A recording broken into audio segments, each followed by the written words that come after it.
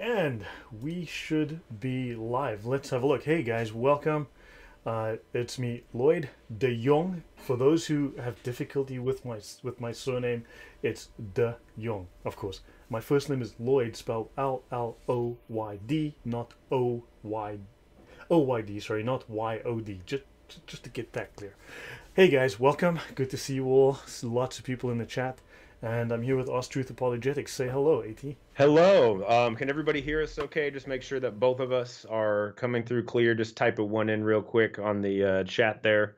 So we don't want to have any technical difficulties for like three minutes before anybody says anything. So, um, what up, Debit Rabbit? Um, I don't know. Veronica, hey, Yeah, hello. Hey, is? Lloyd is also Arab. No, Lloyd is South African And I'm in Genoep Afrique. Yeah, see, there you go. He speaks. He speaks South African. I assume that's uh, whatever that is, whatever language that It is. was Arabic. Um, not Arabic. That was Arabic. Um, Assalamu alaikum. That's about that's about the only uh, Arabic I I know. Yeah, أغلب داني بالماء السخنة أغلب داني بالماء um, أغلب داني بالماء السخنة Oh gosh, I used to know how to request things. I used to speak some Arabic when I was living Yeah. in the Middle East. Sorry. Hey guys, welcome. Thanks all for, for being here. The South African language. Actually, um, African Afrikaans, if you look at the white tribe of Africa, the Afrikaners, Afrikaner means African. So this is the white tribe of Africa. Afrikaans is means African. So their language, Afrikaans, means Mm. African. So so the white tribe of Africa, the Afrikaners, see themselves as African. They were basically outcast from Europe. They were not accepted back by the Europeans. They were left on their own. So they had to develop their own identity Interesting. and so they became African. Um, yeah, I will do a story on a show on apartheid just to annoy people one day because that's exactly what it's going to do. But in many, many ways, irrefutably, apartheid was very good for black people, and um, and I say this because I can bring the facts. I am tired of the, the narrative. I'm tired of the false narrative. Half my family is white, and I am not going to have people besmirch my family Mm. just because they're white. And Afrikaners are good people. Mistakes were made, but I am not going to accept that that uh, 98% of the time Afrikaners, in many cases, were good people. Just like same story with the Jews. That first story, that story was first tried on Afrikaners. It succeeded, and uh, they're trying it now in Israel, and now they're trying it in America too. So. yeah. Okay, guys. Uh, At before we begin, any comments you want to make? Well, I mean, I, I'm I'm excited to get started on this this Gnostic idea. I think a lot of us will be surprised how Gnosticism is still alive and well today.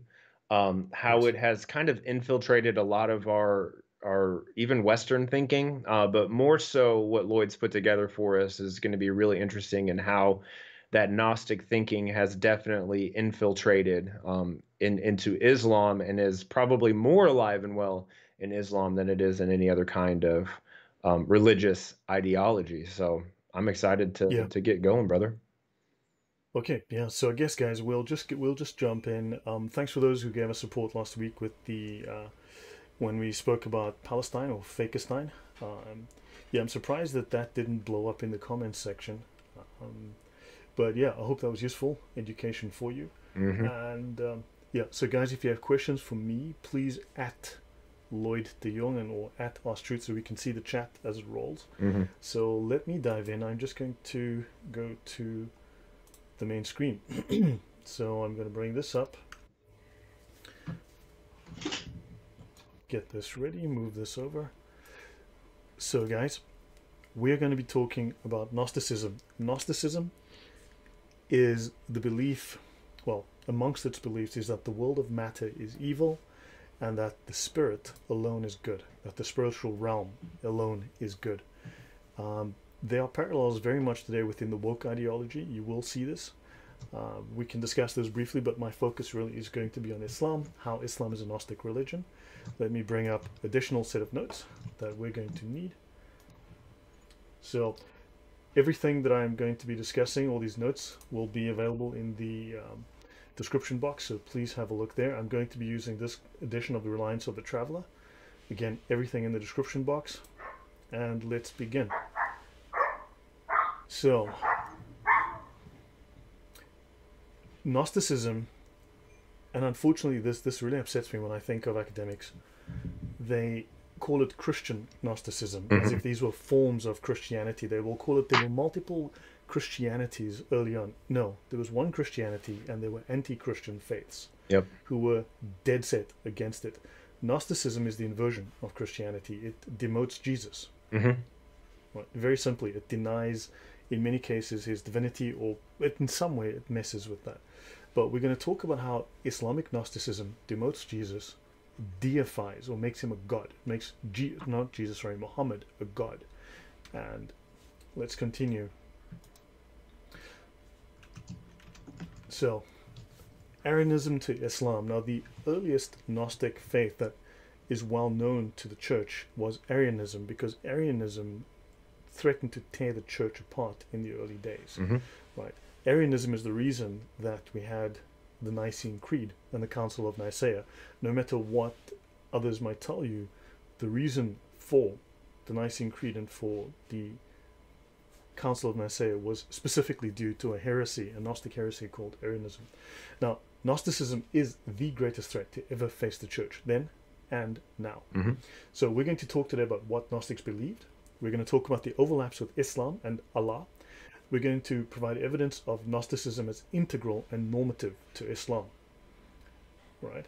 We're going to speak of the Nicene Creed as a refutation of numerous heresies. We're going to discuss a few Gnostic heresies. Let me just move my camera to the top right. We're going to speak of some biblical warnings and further evidence of Islamic Gnosticism. Mm-hmm. Then we're going to discuss how Gnosticism demotes Jesus, how Islam then promotes Muhammad to a deity as most specifically as the light of the world. This is the true replacement theology. This is Islamic replacement theology, where it replaces everything. Mm-hmm. Right? And then we'll speak of Islamic orthodoxy and the negative teachings about Christianity and also about Judaism, but we'll, we'll focus largely on Christianity in this episode. So, right, let's continue. Gnosticism is the first major threat to the church. Gnosticism was the greatest challenge and greatest threat to the early church, but Gnostic ideas are thriving today. So, in its early history, the church was opposed by several mystery religions. Now, this is an overview. I'm going to be bringing multiple topics, and we can explore each topic in detail later. But there were these mystery religions. The mystery was that they had secrets. You see, they, they knew the secret of the universe. They knew that secret knowledge that you don't have, secret knowledge that led to salvation. So these mysteries involved secret societies, and Islam is built on secret societies. The largest secret society in the world is the Muslim Brotherhood. The Muslim Brotherhood has two to three million members and about 100 million adherents if you look at that mathematically, there are about 8 million Jews in the world, and there's about 100 million people that follow the Muslim Brotherhood. So that's a lot of people. Occult, magical rituals and practices. Now, Islam certainly is guilty of this too. I'm not going to go into huge amounts of detail, but this is also something that is part and parcel of Islam. Mm-hmm. Gnosticism involves levels of understanding. Islam most explicitly has levels of understanding where you have to be initiated into different levels. You have to gain secret knowledge and then move up to various levels. There's also the denial of Jesus' divinity, his death, resurrection, and humanity. Various aspects of these are part of Gnosticism as well as Islam. And then, of course, you have radical reinterpre- reinterpretation of biblical doctrine. This, of course, is part and parcel of Islam. Uh, mm-hmm. Comments, At? Yeah. Um, so uh, I, I, think we went into this last time we spoke live, just talking about the occult and the magical rituals, and and um, what was the name of the the god or the the Satan figure that had the crescent um, with the star? Oh, Baphomet. Yeah. Um, so those are those are some very interesting things that kind of go into. I'll bring it. that up uh, especially talking about the secret societies and and things like that. Um, it's very interesting when you start to look into the history of where secret societies. Yep, exactly him. Where where secret societies began, um, and how they are actually influenced, uh, if not started, by um, by Muslim types of of groups. Uh, Lloyd, I, I would like to hear you explain to me more again, kind of the different levels of Islam, I mean, because from what I understand, there is the the basic lay Muslim, pretty much people you and I talk to um, on on a daily basis. Um, then you have your Mhm. scholars, your imams. Yeah, I will get into that. Yeah. That is that is part of this presentation, okay, so I will get into that. Perfect, Yeah, bring it up if I if I don't if I don't get around to it soon enough. definitely. The black Hebrew is the fake Hebrew Israelites has incorporated a majority of the interpretation of scripture from Islam. Mhm. Yeah, Arianism, many other Judaizing. uh, Yeah, yes, Judaizing heresies. Yes. Hey Daniel, good to see you after a long time. Right, let's see. Okay, now, very briefly, Gnosticism. Gnosticism is the belief that salvation comes through secret knowledge, also known as sacred knowledge, also known as sacred science. Mhm. Right? Gnosticism is the idea that the physical world is corrupt, even evil, unlike the ideal spiritual realm, and that the material realm is created and ruled by a lesser god, potentially even an evil god in some interpretations. Yep. So, Gnosticism is a religious dualist system of belief arising in the second century. Now, understand that before you had Christian Gnosticism, you had Jewish Gnosticism, Mhm. right? So, Gnosticism goes way back, long before Christianity. So, but now you have Christian Gnosticism. So, this goes back to the second century, and it held that matter is evil, that spirit is good, and it claimed that salvation was attained only through esoteric knowledge, or the gnosis, the gnosis, the Greek gnosis. Yep. Right. Now let's have a look. Let's let's look at the philosophy of Gnosticism. It comes in many varieties and interpretations, from ascetic to licentious. Now, licentious is an interesting word. This just might remind you of a certain prophet. The definition of licentious: lacking legal or moral restraints, especially disregarding sexual restraints, Mhm. marked by disregard for strict rules of correctness. Does this remind you of anybody, At? Well, it, it reminds me of Muhammad, but when you said um, licentious, I, I thought you were talking about the time that Muhammad had lice. I, I thought that's what you meant was reminded you of. oh no, Muhammad. that- But now I yeah, understand it's that, that's also worth raising. okay, so yeah, by Irenaeus. Okay, fantastic. Uh, Falcongage says yeah, and um, okay, so yeah, I'm going to try and provide an overview of this that's probably not common knowledge as yet. Also, you, we're not going to go into this at length, but look up the word antinomianism. This is worth knowing about. Something I should talk about in the future. So, it is a religious philosophy and a worldview. It's a framework to explain the nature of God and creation, right? So its own, it's, it is its own creation narrative, Mhm. right? It also tries to explain good and evil, and in brackets there you see the problem of evil. It tries to explain the problem of evil. Yeah.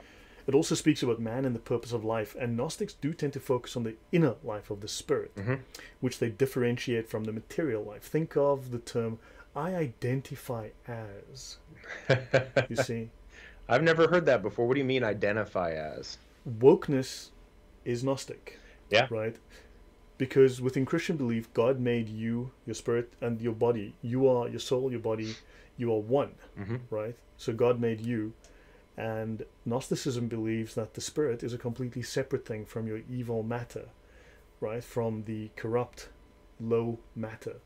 And therefore, what your spirit believes, that's the only true self. And therefore, I believe that I am what it, wokeness is Gnosticism, right? They come from the same belief, this dualist belief. Mhm. Right, now, Gnosticism and Gnosis in Islamic law, so I'm going to move us down to the. Now, we're going to examine numerous references to Gnosticism, Gnosis, and Gnostic Islamic scholars in the most famous and the most popular Islamic legal manual called The Reliance of the Travelers. So, see the video description box for a download link. It is Reliance of the Traveler called the Umdat al Salik. I'm going to bring that up now. Okay, so I'm going to go here into my PDF reader. I'm going to type in the word GNOS. Notice for Gnosis, there's 18 references. For Gnostic, there are 5. For Gnostics, there are 3. And Gnostics, 1. Hmm. Right, with an apostrophe. So let's go.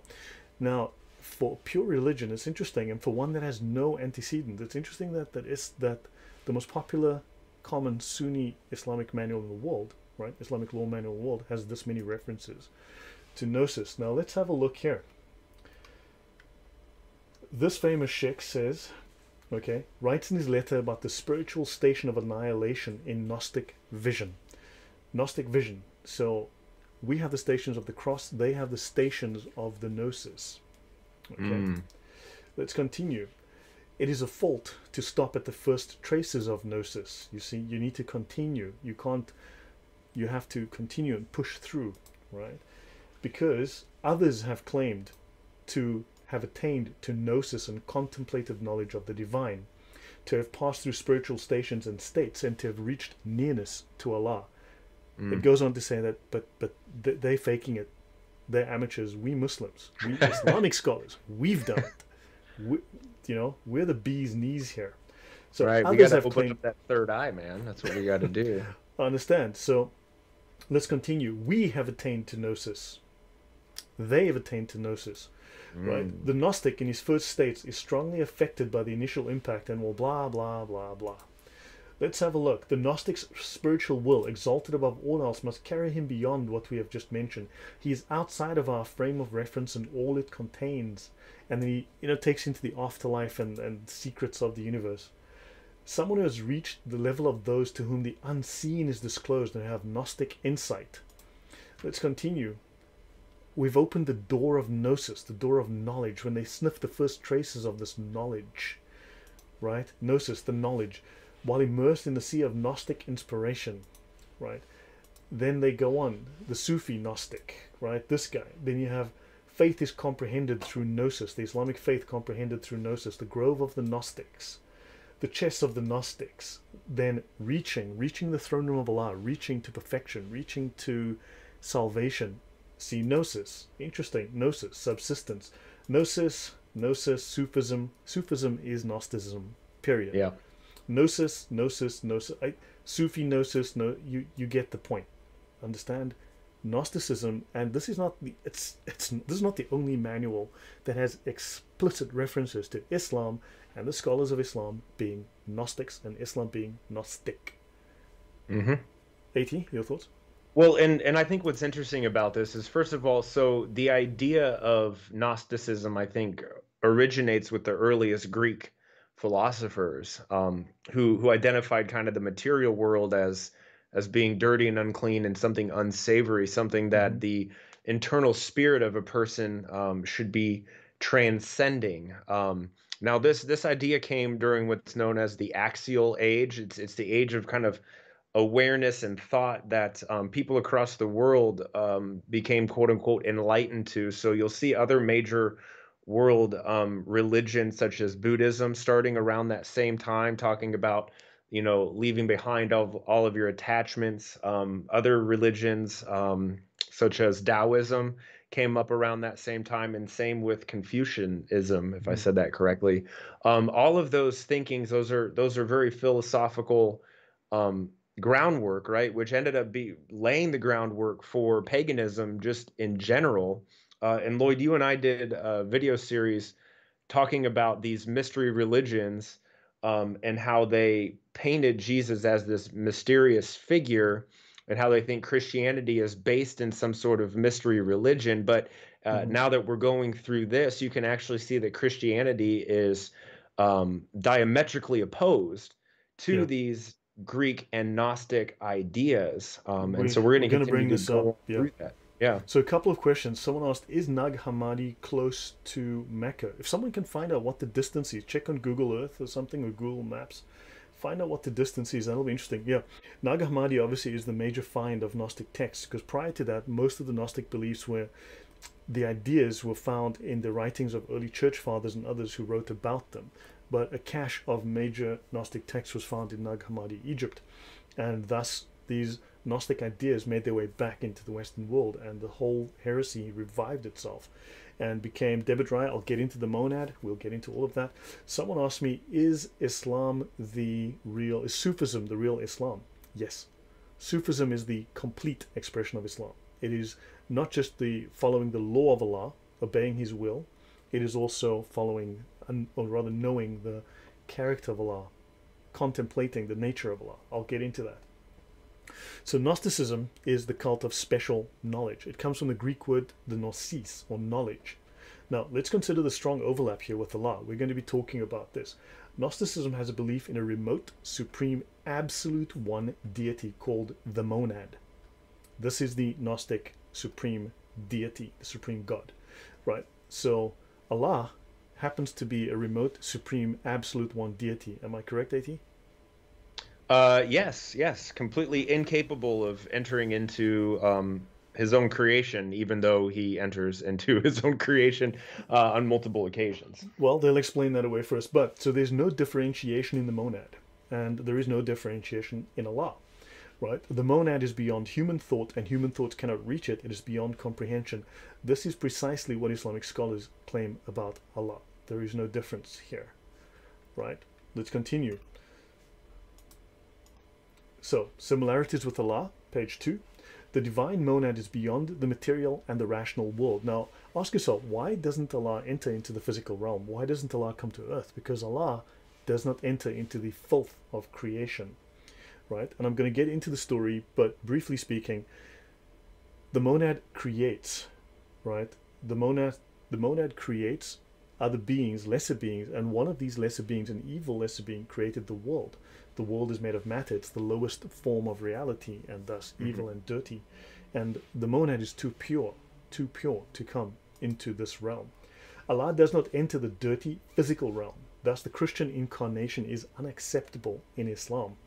Think of the polemic emphasis on Jesus as a baby being unclean within Islam. This is a very strong polemic. See Ibn Qayyim, polemic is an argument against the religion, right? Mm-hmm. See Ibn Qayyim, Guidance to the Uncertain, in reply to the Jews and the Nazarenes. Let's have a look and see what, what major scholar, top scholar of Islam, Ibn Qayyim has to say. A religion whose structure is founded on the worship of crosses and pictures on the ceilings and walls, proclaiming that the Lord descended from the chair of his glory and became attached to the inside of a woman's womb, and he dwelled in there for a period of time amidst the location where the sexual organs join. Then he came out as a suckling, growing up, gradually crying, eating, drinking, urinating, sleeping, and playing with other children. Right? He that Wait a second. Playing with children is a disgusting thing. Yes. Yes. I thought I thought the best of mankind played with a, a little child's dolls. Yeah, well, Islam wasn't meant to make sense. Okay. Okay. The, right, these good. are the roots of those whose religion is entrenched in the belief that the Lord of the heavens and the earth descended from the authority of his greatness and his throne. Allah's throne is called the Arsh. I suppose you could pronounce it the Arsh. Allah sits on his Arsh. Anyway, descended from the authority of his greatness and throne and entered the vagina of a woman who eats, drinks, urinates, evacuates her bowels, and menstruates. Then he got attached to the inside of her abdomen and dwelled there for nine months, wobbling. This is Jesus they're talking about, right? Wobbling between excrement, urine, and menstrual blood. Then he was born to be swaddled, put in the cradle, and each time he cried, his mother breastfed him. Then he ended up being slapped on the cheeks by Jews. The Lord of the worlds and the creator of the heavens and earth descended from his throne and the chair of magnificence, entered the womb of a woman in the place of the monthly period and menstrual discharges for several months. He came out of the vagina, a born child suckling her breast and crying. And we'll get into how Muhammad came out of the vagina. Muhammad came out of the vagina with a bright light that shone out of his mom's vagina for 1,300 kilometers, lighting up the castles in Busra in Syria. But we're going to get to that. Okay? So he grew up eating, drinking, mm-hmm. urinating, recovering from illness and sickness. Then he made a plot against his archenemy, Satan, by giving himself away to his enemies, the Jews, who arrested him and drove him to two slabs of wood to crucify him. These are 800 year old arguments. Mm-hmm. That are very much in use today. This is the this is very much what Muslims teach about Christianity and about Jesus. Just a short introduction to this. Okay. So the divine, so the monad continuously emanates lower divine beings called eons. Now the question was here, Debit Rai, if Allah does not enter dirty physical realm, then what's the point of Gnosticism when they believe in the monad if the monad doesn't even care for his creation? Well, you see, your soul wants to go back there. That spark of the divine within you, that spark of Muhammad. Sorry, why did I say the divine? That spark of Muhammad, the light of Muhammad that is within you, that, that is your soul, that wants to go back to to paradise you see mm-hmm. and and the earth is a trap and you need to be freed from the earth the trap the prison planet that is earth. But we we are getting to all of that. So the monad continuously emanates. It not gives birth but it emanates lower divine beings called eons. Now islam also has this concept of continuous creation. Right? Biblically god creates adam and eve and then they procreate. Right? This is something mm-hmm. obviously beneath the god of Islam, beneath the monad. In Islam, every child is a new creation, thus, there is no concept of original sin. Original sin cannot be translate, transmitted. Right? So understand this is how Islam sees it. Now, notice that that's why they give us a hard time theologically about the concept of original sin. Do you want to say anything, mm-hmm. At? Just let me know if you want to. Just raise your hand if you want uh, to say anything. I will raise my hand. Keep going, brother. Now, the Nicene Creed specifically states that Jesus was born or made incarnate, depending on which version you read, as a refutation of Gnostic heresies. He became incarnate from the Virgin Mary and was made man. So it explicitly states that the divine took physical form. Right? It explicitly states that the divine took. This was shocking at the time. This yep. was a major, major statement to make in the fourth century, third century. It was an mm-hmm. incredibly powerful statement because the divine could not come to the low, corrupt earth, understand? But the fact that the church took this stand in the face of everything against it, this was a very powerful stand by the church. So the monad emanations have an element. Remember the word emanations. We're going to come back to that. You're going to see it all over Islamic texts. Have an element of the divine essence. So angels and other powers are in the spectrum of these emanations. So they too are worshipped, right? And of course, Jesus is on this spectrum too. So he's worshipped, but he's not a supreme being. Right. So now let's look at Colossians 2, verse 8. Paul writes, See to it that no one takes you captive through hollow and deceptive philosophy which depends on human tradition and the elemental spiritual forces of this world rather than on Christ. For in Christ all the fullness of the deity lives in bodily form. You see, there was also the element of, of angel worship. There was this phenomenon of angel worship back in the day. And of course, the church mm-hmm. in the mm-hmm. Colossians was taking on Gnostic ideas. Paul yep. wrote this letter to them to say, I'm sorry, but no, you do not worship, you do not pay regard to other elemental forces, and you do not accept the idea that the Gnostics teach that Jesus wasn't real. He came mm-hmm. in bodily form. Go on. Yep. Well, I was just saying. So that's what um, that's what the the Gnostics believe, right? The Gnostics believes that because Christ was so pure that he did not actually take human form. He was not flesh and blood. He was some sort of uh, aberration or or um, uh, the theocracy or the sorry, I'm losing words here, but um, so they they thought that he just came basically in the spirit, but not in the, the flesh. flesh. So this is kind of where um, Gnostic ideas and Islam invert, right? So the the the Gnostics took on this idea that Christ was some sort of divine being, or or some versions say that he was yeah. actually God Himself. So they did not deny yeah. the pre-incarnate Christ, whereas the um, the Islamic version of him they invert that, right? So yeah. they don't give him any kind of pre pre yeah, we'll get into yeah we'll discuss that in more yep. depth as we go so now let's look briefly at the council of nicaea right it says in brief below the image where we are so the council of nicaea now the first council of nicaea the first council was in 325 ad now the first it was the first ecumenical council of the christian church meeting in nicaea it's now called iznik in turkey and i think constantinople should be given back because Constantinople, as you know, is a Christian city. It was invaded by Muslims, and they need to give it back okay, which is what you do apparently when people invade. So it was called by the Emperor Constantine I, and he hoped a general council of the church would solve the severe problems created by Arianism, a heresy first proposed by Arius of Alexandria. He was a presbyter. Presbyter is somewhere between a bishop and a high priest, right? A major priest. The, the, Alexandria, though, as a source of Gnostic heresies, as a source of heresy, comes up incredibly often. Alexandria comes up all the time. Arius claimed that Christ is not divine but a created being. Which other religion says that? Let me think for a minute. Islam. Mm-hmm. Okay. They explicitly state that he was a created being and Christ is not divine. Now, Arianism was condemned as a heresy. Now, let's look at the Nicene Creed, because the Nicene Creed was created at the Council of Nicaea. So the Nicene Creed is a refutation of heresies, and the Council of Nicaea was a refutation of the Arian heresy.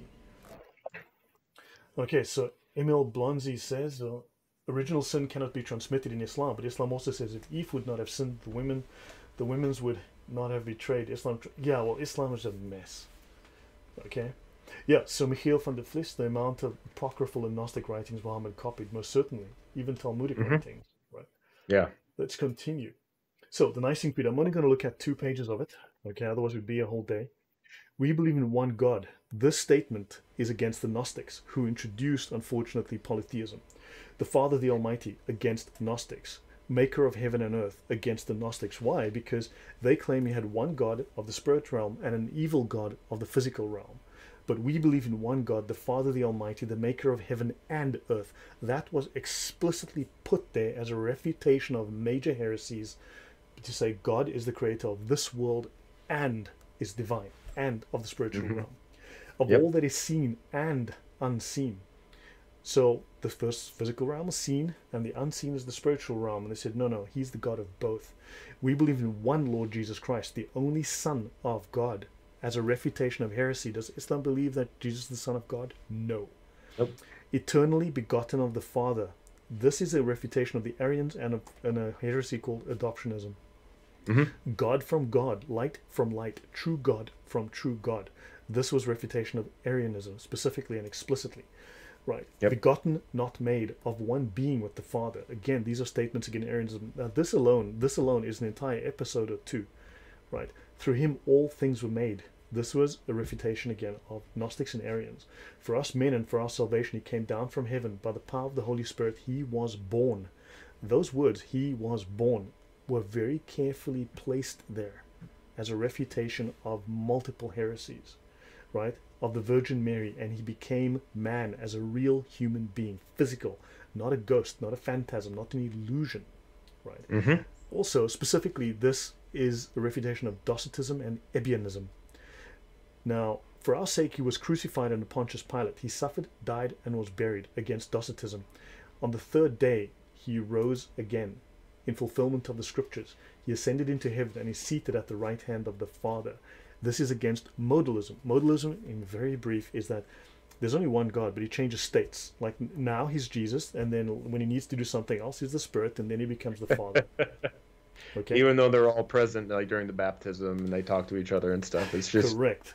Okay, it's my basically, hand, so the hand, concept right? of you know you got to think of of the of of God as like you know now is it's water. See now it's steam, and then sometimes it's ice, and then sometimes it's water. That's modalism.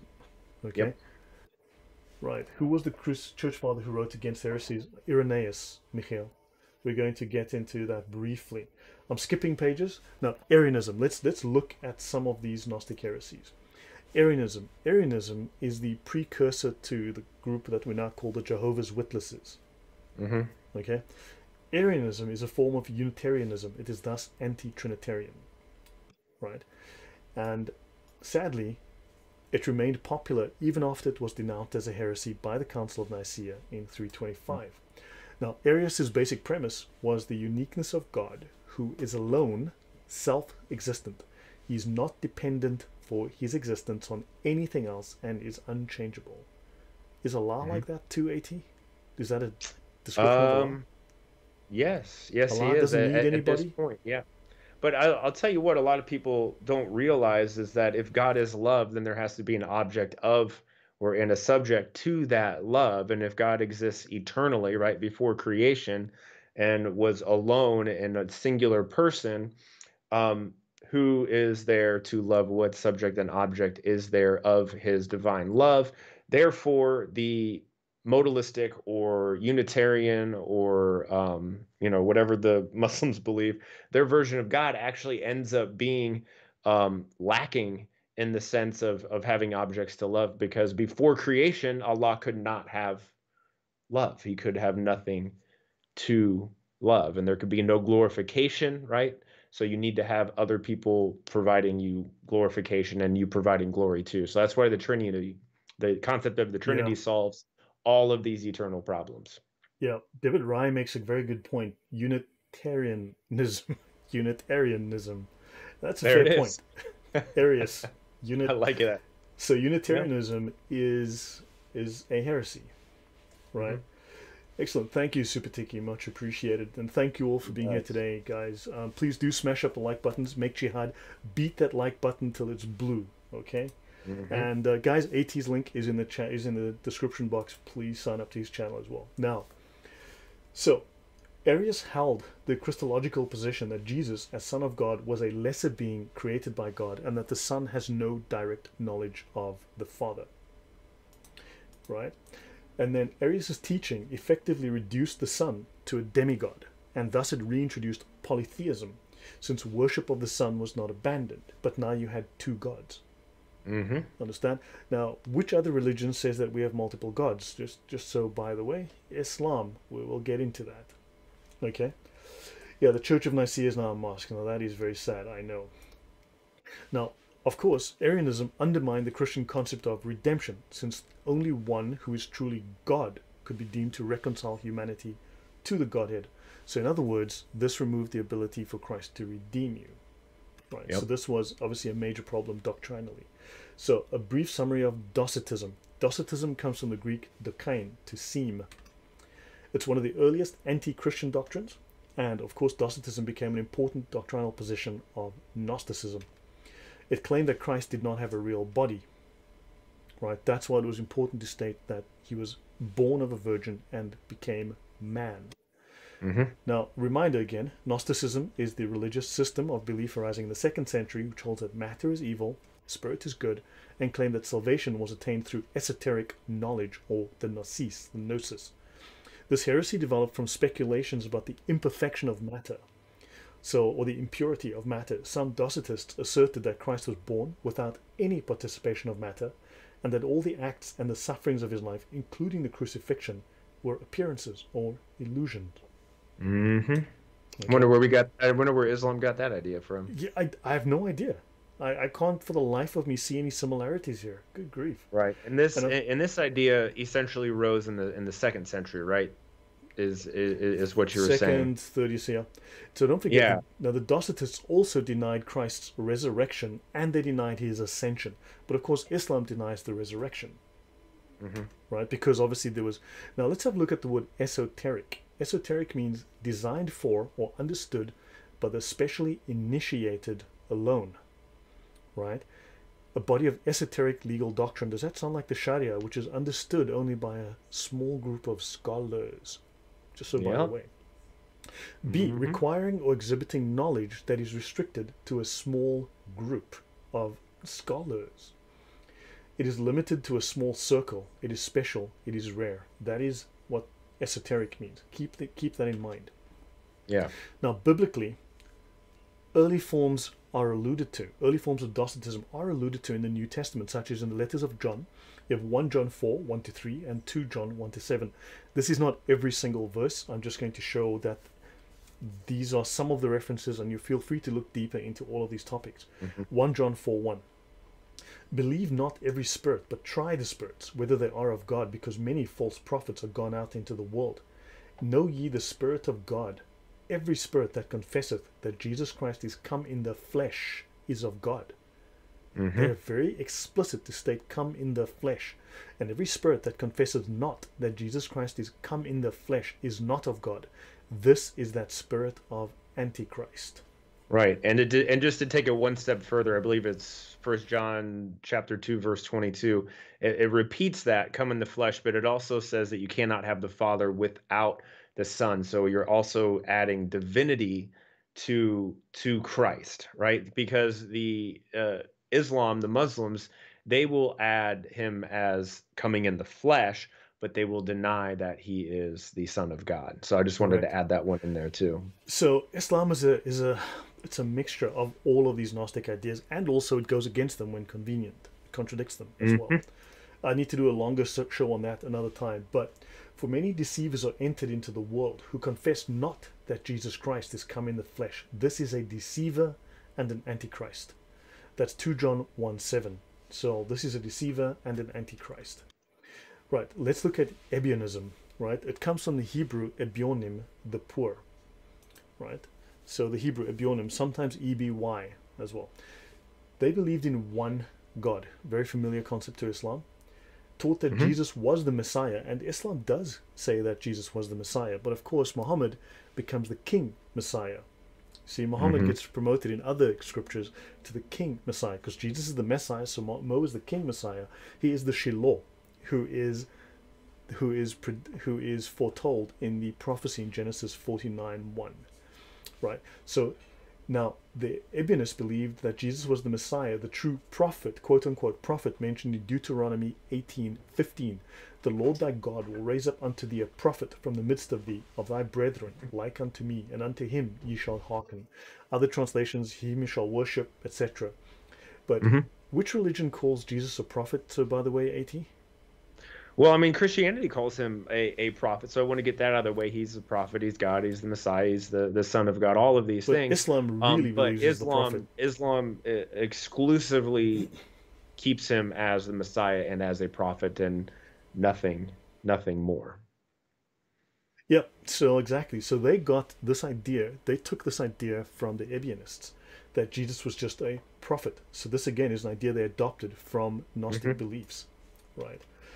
Let's continue. The first mention of this particular heresy is in Saint Irenaeus, right? Notably in his book Adversus Haereses or Against mm-hmm. Heresies, circa 180 AD. Okay. Yep. Right. Thank you, Dragon. Much appreciate. And uh, yeah, if you have any questions, just put my name there at my name, and um, I'll try and answer those. Now, the Ebionists rejected the virgin birth of Jesus. Right. They claimed that he was the natural son of Joseph and Mary. The Ebionists mm-hmm. also believed that Jesus became the Messiah because he obeyed the Jewish law. Notice that Islam constantly says Jesus came to fulfill the law, Jesus followed the law. They harp right. on this point exactly like the Ebionists did. However, Ebionists followed the law except when they didn't. So they followed the law but removed what they regarded as interpolations. And mm-hmm. Islam says the Bible is filled with interpolations, by the way in order to yep. uphold their teachings, which included vegetarianism, holy poverty, right? Ebionim, the poor, ritual yep. ablutions. I wonder where Mo got that idea. And the hmm, rejection of animal sacrifices, Mo took on that idea. And they held Jerusalem in great veneration. I wonder where Mo got that idea. Yeah, right? You know, but one thing also too, so so you can you can see a lot of similarities between Ebionism and Islam, right? They have a similar belief, and and this would work to perhaps strengthen the the Muslim claim that the Ebionites, I've heard this many times, especially by uh, Shabir Ally, um, are the predecessors of Islam. They were the true quote unquote Christians. Um, but then when you read the uh, Quran, it talks about how uh, Jesus was born of a virgin, right? So it, it, just seems like Islam just picks things here and there, right? Because Ebionism mm-hmm. says that he was born, um, you know, regular, but you know, by by regular union between man and woman. Mm-hmm. Um, but they don't like that part, right? So they they like the story of him being born of a virgin, but they don't like the part of him being, you know, God, the Son of God. The, they don't like the story of Jesus dying on the cross because they lack any ability to think deeper than two inches. So. Yeah. That's my thing. Uh, Hayes White says, I like AT's apologetic contribution to the presentation. The speakers complement each other very well. Very deep and educational. Thank you both. You're welcome. Everyone says we're a great team except for me, and, and I fully agree with that. I don't think we're a good team either. This is the most miserable miserable part of my Actually no, most of the um, Muslims say it.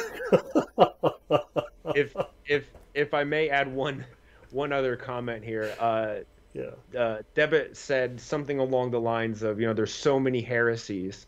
Yeah. Um, and, and I think this strengthens the the fact that Christianity is the one true religion. And the reason why I say that is because if it were something totally obscure that was not able to bring about salvation, Satan would, not try to replicate it in so many different ways, right? So there's yeah. a saying that I, I, use a lot, and I heard it from Pastor Mark Driscoll the first time. Uh, it says, "Whatever whatever God creates, Satan counterfeits." Right, so God God creates yeah. Christianity, and then immediately you get all of these different counterfeit types Bringing of religions that you know obviously end up culminating in the movement of Islam. Yeah, yeah. Muhammad is counterfeit Jesus, quite bluntly. So let's mm-hmm. continue. Mm-hmm. Let's look at Plotinus. Let's look at. I've mentioned him before. Plotinus the One. Plotinus was a Roman, sorry, Greek philosopher, and he had a concept of the supreme deity which he called the One. Now, briefly, Plotinus was a pagan Hellenistic philosopher from Alexandria. You'll notice Alexandria crops up all the time when you start reading this stuff. He despised Christianity and he's the founder of Neoplatonism or Neoplatonism. Right, let's continue. His writings were widely read within the time of Augustine of Hippo, which is about the 5th century, over 200 years before Muhammad's first revelation. Augustine counted many of the thoughts of Plotinus and his ideas in his book, The City of God, called On the City of God Against the Pagans, De Civitate Dei Contra Paganos. Now, let's look at a very high level comparison of the one, Yahweh, the Christian God, and Allah. Right, so we'll look at aspects of this. Now, I will note that I don't necessarily agree with the original author with his um, representation of Allah fully. Okay, but that's it, it's pretty decent. And let's have a look. God is a creator, the one, a creator, Allah, the creator. So that's the sovereignty of the creator. The mm-hmm. nature of God. Okay, simple being with a complex nature, that's God. Okay, single being rather, single being with a complex nature. The one by Plotinus, it was a simple unity. Now, what's interesting is the unity, ehad. Mm-hmm. Ahad. Remember, ah, Allah is, if you look at the Arabic, ahad, he is one of, one of many. Yep. Very odd yep. that they utilize that in that verse, right? Simple unity mm-hmm. beyond being. Now, why, if you were just one, why would you be a unity? Unity implies the joining of many. Allah, simple unity, pure will, okay, beyond being. Both of these describe Allah. But this, especially on this side, describes what we call the Sharia understanding of Allah. Allah as will, which is Allah as a lawgiver, right? The Sufis understand Allah in a different light. They understand the personality, the character of Allah. Right? Actions. Allah is God is intrinsic. In the one is extrinsic, outside of you, and Allah is outside of you, far away. Mm-hmm. mm-hmm. Can he be known through reason and faith? Yes, Christians can understand God through reason and faith because they say that God is reason, God is logos, and that through mm-hmm. reason we can understand the world, we can understand God's creation. Yep. The Ask, one seek, and knock is knowable only through complete submission which religion requires submission, At? I can't remember. My, my memory is going. well, I would I would go so far as to say that probably all religions require submission to a certain certain level. But what does it mean? What religion says they're the religion of submission? Obviously, it's it's Islam. Islam. Okay, and Allah is inscrutable. So basically, Allah meets both of these criteria. Man's nature is free.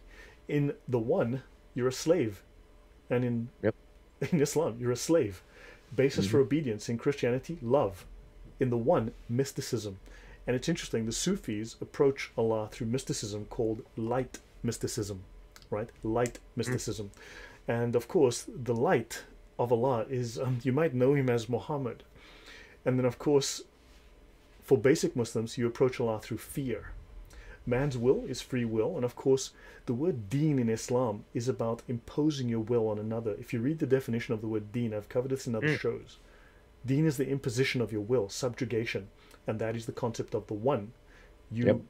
your, your will, they impose their will on you. And of course, both of these, predestination, both of these cover the character of Allah. Man's purpose is to know the Creator and to submit to the Creator and obey the Creator. In both cases, this meets the definition of Allah. And yeah, so understand the concept of Allah goes back to at least 200 years prior to Muhammad's birth. So again, another source where he took ideas and these ideas and just mashed them up. Basically, he took a bunch of stuff, dumped it in a bowl, mixed it up, pooped into the bowl, mashed it up again, and there you go, Islam. Your yep. thoughts? Uh, well, Dra- Dragon said something very, very profound here. She just said, "In Islam, you're a slave of Allah. In Christianity, you become a child of God." Um, and I, I don't think you could sum it up any better than that. Yeah. Yes. Well said.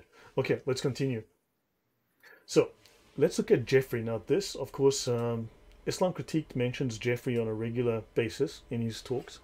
This is Jeffery's book called Islam, Muhammad and His Religion, and he says the old Arabian paganism was in the process of disintegration. Judaism and Christianity were widely represented in Arabia, and to a lesser mm-hmm. extent, Zoroastrianism and certain Gnostic sects. Right? So understand, so several preachers of monotheism had arisen, and each had gained a following but it was Muhammad who succeeded in syncretizing certain basic elements of Ju- Judeo Christian faith and practice with native Arabian beliefs. Yeah. Syncretizing is basically taking stuff and just smashing it together, and there you go. You know? So so that's what Muhammad did. And so this is written about this is this book dates to the fifties already. Now mm-hmm. let's look at the Encyclopedia of Islam. They speak of the gnosis, the marifa, which he describes. So Dhul-Nun was the first to teach the true nature of Gnosis. Now, this is the first Islamic scholar to really talk about the, Gnosi, the Gnostics. The Gnosis. He describes this as knowledge of the attributes of the unity And I find this really interesting that it's the gnosis is the knowledge of the attributes of the unity. If Allah is indivisible, if Allah is one, how can it be a unity? Understand? And he speaks, and this Yeah. belongs to the saints. When they say saints, they mean the Sufi saints. The highest in Islam, the highest spiritual level in Islam is to be a Sufi. They are the highest ones. And they contemplate the face of God within their heart, and God revealed himself to them in a way in which he is not revealed to others in the world. So the Sufis can see God in a way that no one else can. AT? Right. Uh, well, I was I was reading something that Daniel wrote earlier, and he said Muslims say that Muhammad is the door to paradise that every man must pass through um, for entry, and and, and I, I think that's pretty much correct, right? So, in order for me to become a Muslim, Lloyd, what do I have? I have to say something specific, right? Um, yeah, you have to spin around three times, and you have to um, stamp your left foot once, twice, and then Uh-huh. you have to, um, yeah, then you have to say the Shahada, which is not found in the Quran. Right, and and it, it, pronounces that there's only one God, right? Which is fine. I think everybody agrees with that. Mhm. But then, how do I actually get to that God? Right? It is through pronouncing Muhammad as his prophet. So, In um, I, fact, I would I would agree with Daniel at that, at that point, right? So, like, you literally cannot enter paradise um, unless you pronounce that Muhammad is the prophet. in so fact, he is according to the Islamic law, according to Sharia, and I probably show this later, Allah does not accept your submission. Allah does not accept your faith unless you accept Muhammad. Nor is Mhm. this in the Quran explicitly stated anyway. The, the, the Shahada that Muslims follow is not in the Quran, right? There's only a Shahada that speaks of Allah, right? Now, Mhm. the, the addition with Muhammad is an innovation, biddah, that came much later, right? Right, and I'm, I'm going off of memory here, but I, as I recall, the Dome of the Rock only had the first part of the Shahada written on it. It didn't Yes. add the Muhammad thing until later. Yes, correct. And notice also they speak of here the Gnostics. So this is the Gnostics, Muslims, Gnostics, right? Mhm. Now notice, so I'm going to lift over here now. What did the Gnostics do? The name Kashif in Islam, you'll hear Muslim names like Kashif. In mysticism, what is mysticism? Well, go look it up. The occult, the act of lifting and tearing away the veil which comes between man and the extra phenomenal world. Understand? So the act of lifting and tearing away the veil. These these are mystical practices, and of course, if you start looking, you're going to find crazy mystical practices. Welcome to new subscriber. Thank you for for joining the channel. Right now, this book, um, I've got a link in my Dropbox. If you go to the Dropbox, you'll find this linked there. The Kashif al Mahjub, the oldest Persian treatise on Sufism. Read it. It is just about Gnosticism, Gnosticism, Gnosticism, Mhm. on and on and on, non-stop. Now let's continue. Let's look at similarities with Allah part 4. Right. The demiurge. Now, the demiurge is one of the eons created in the created oh sorry, the demiurge, which is one of the eons created the physical world. Now, mm-hmm. eons with an E is about time, but the aeons with an A is is a spirit being created by the monad. Now, the demiurge is said to be a malevolent, evil, and false god. Very important, the false god. It is a mm-hmm. heavenly being subordinate to the supreme being that is considered to be the controller of the evil, physical, material world, and it is antagonistic to all that is purely spiritual. It seeks to keep us locked in the material. So the Jesus of the physical realm, according to this idea, is evil according to this paradigm, because Jesus would be of matter, and matter is evil. So you could not. Now, of course, this is probably a corruption of the idea that man could not enter into the Holy of Holies, which was sacrosanct, because God is pure, and man had to be completely purified. He had to go through a ritual to enter into the Holy of Holies. Uh, your Yeah. thoughts on that, AT? Um, let's just keep going. I really don't have any thoughts to that. Okay, now let's have a look. Now you can go to archive.org, right? We're going to look up Din al Batil. We need Tafsir Qurtubi Volume 1. I'm going to make a reference to this. I'm just going to move my camera again. There's a passage in the Tafsir Qurtubi Do not mix up truth with falsehood and knowingly hide the truth. Do not mix up truth with falsehood. A thing is mixed up when it is mixed with something similar to it. Then it is not Mhm. clear. Qatada said that the meaning of the phrase is do not mix up Judaism and Christianity with Islam. It says that they are separate. The word used for falsehood is batil. So do not mix up Islam, truth, because Islam calls itself the Deen ul Haq, the religion of truth. Christianity and Judaism are the Deen batil. The Deen batil are the religions of falsehood, which means when something becomes unsound and worthless. So the official, formal, and I'll get more into that, orthodox position of Islam and Christianity is that it is unsound and worthless. It can also mean in vain, as in, and they go on to describe, your prayers fall as dust at your feet. The, the deity doesn't even hear you, doesn't know you exist. The false, Al Batil, is one of the names of Satan. So we are worshipping one of the religions of Satan. This mm-hmm. is the position of Islamic scholars on Christianity. Right. Okay. So now divine elements from the monad fall into the material realm, and these are locked within us, right? And these little elements of the divine want to return to the spiritual realm. Now, there's a lovely story there as well. So, the divine element returns to the spiritual realm when the gnosis or special secret knowledge of the divine is obtained. Salvation is, is based on obtaining this secret knowledge. Mm-hmm. Right. So salvation is knowledge based, but they don't nec- don't necessarily mean just normal knowledge. Like one plus one is equal to two. Right. right. this is special knowledge, deep knowledge, real deep understanding, a a really involved understanding. Okay, but let's have a look at Islam since we're talking about knowledge. Let's look through the index of the Sharia, of the most popular Islamic law manual. Knowledge of the heart, communally, communally obligatory knowledge, religious sciences. Gonna get to that. This worldly knowledge, recommended knowledge, subjects that are not sacred knowledge, unlawful knowledge, offensive knowledge, permissible knowledge. Read to the Sharia, it's all coded. Knowledge, knowledge, knowledge, knowledge, knowledge, knowledge, everywhere. This mm-hmm. term of the Gnosis is everywhere. And yeah. they speak of the superiority of sacred knowledge over devotions. Devotions, things like prayer, things that are pillars of your religion. So having sacred knowledge trumps everything. Now, Wawi says, say are those who know, those who have knowledge. The ulama, ulama are what? The people of knowledge. And alim is someone of knowledge. What are the Taliban? Well, Taliban comes from, right? These are the students of knowledge. Taliban is a student, right? Mm-hmm. Student of knowledge. Are those who know and those who do not know equal? Quran 39.9. Well, no, because those who have special knowledge. Allah raises those of you who believe and those who have been given knowledge whole degrees. Quran 58.11. Whenever, mm. Whoever Allah wishes well, He gives knowledge, gnosis, of the religion. The superiority of the learned Muslim over the devotee is as my superiority over the least of you. The scholars, the learned Muslim is the scholar, and this is Muhammad speaking. Understand? Mm. So the scholar is so far above the basic Muslim, the lay Muslim, as Muhammad is over the least of the basic Muslims.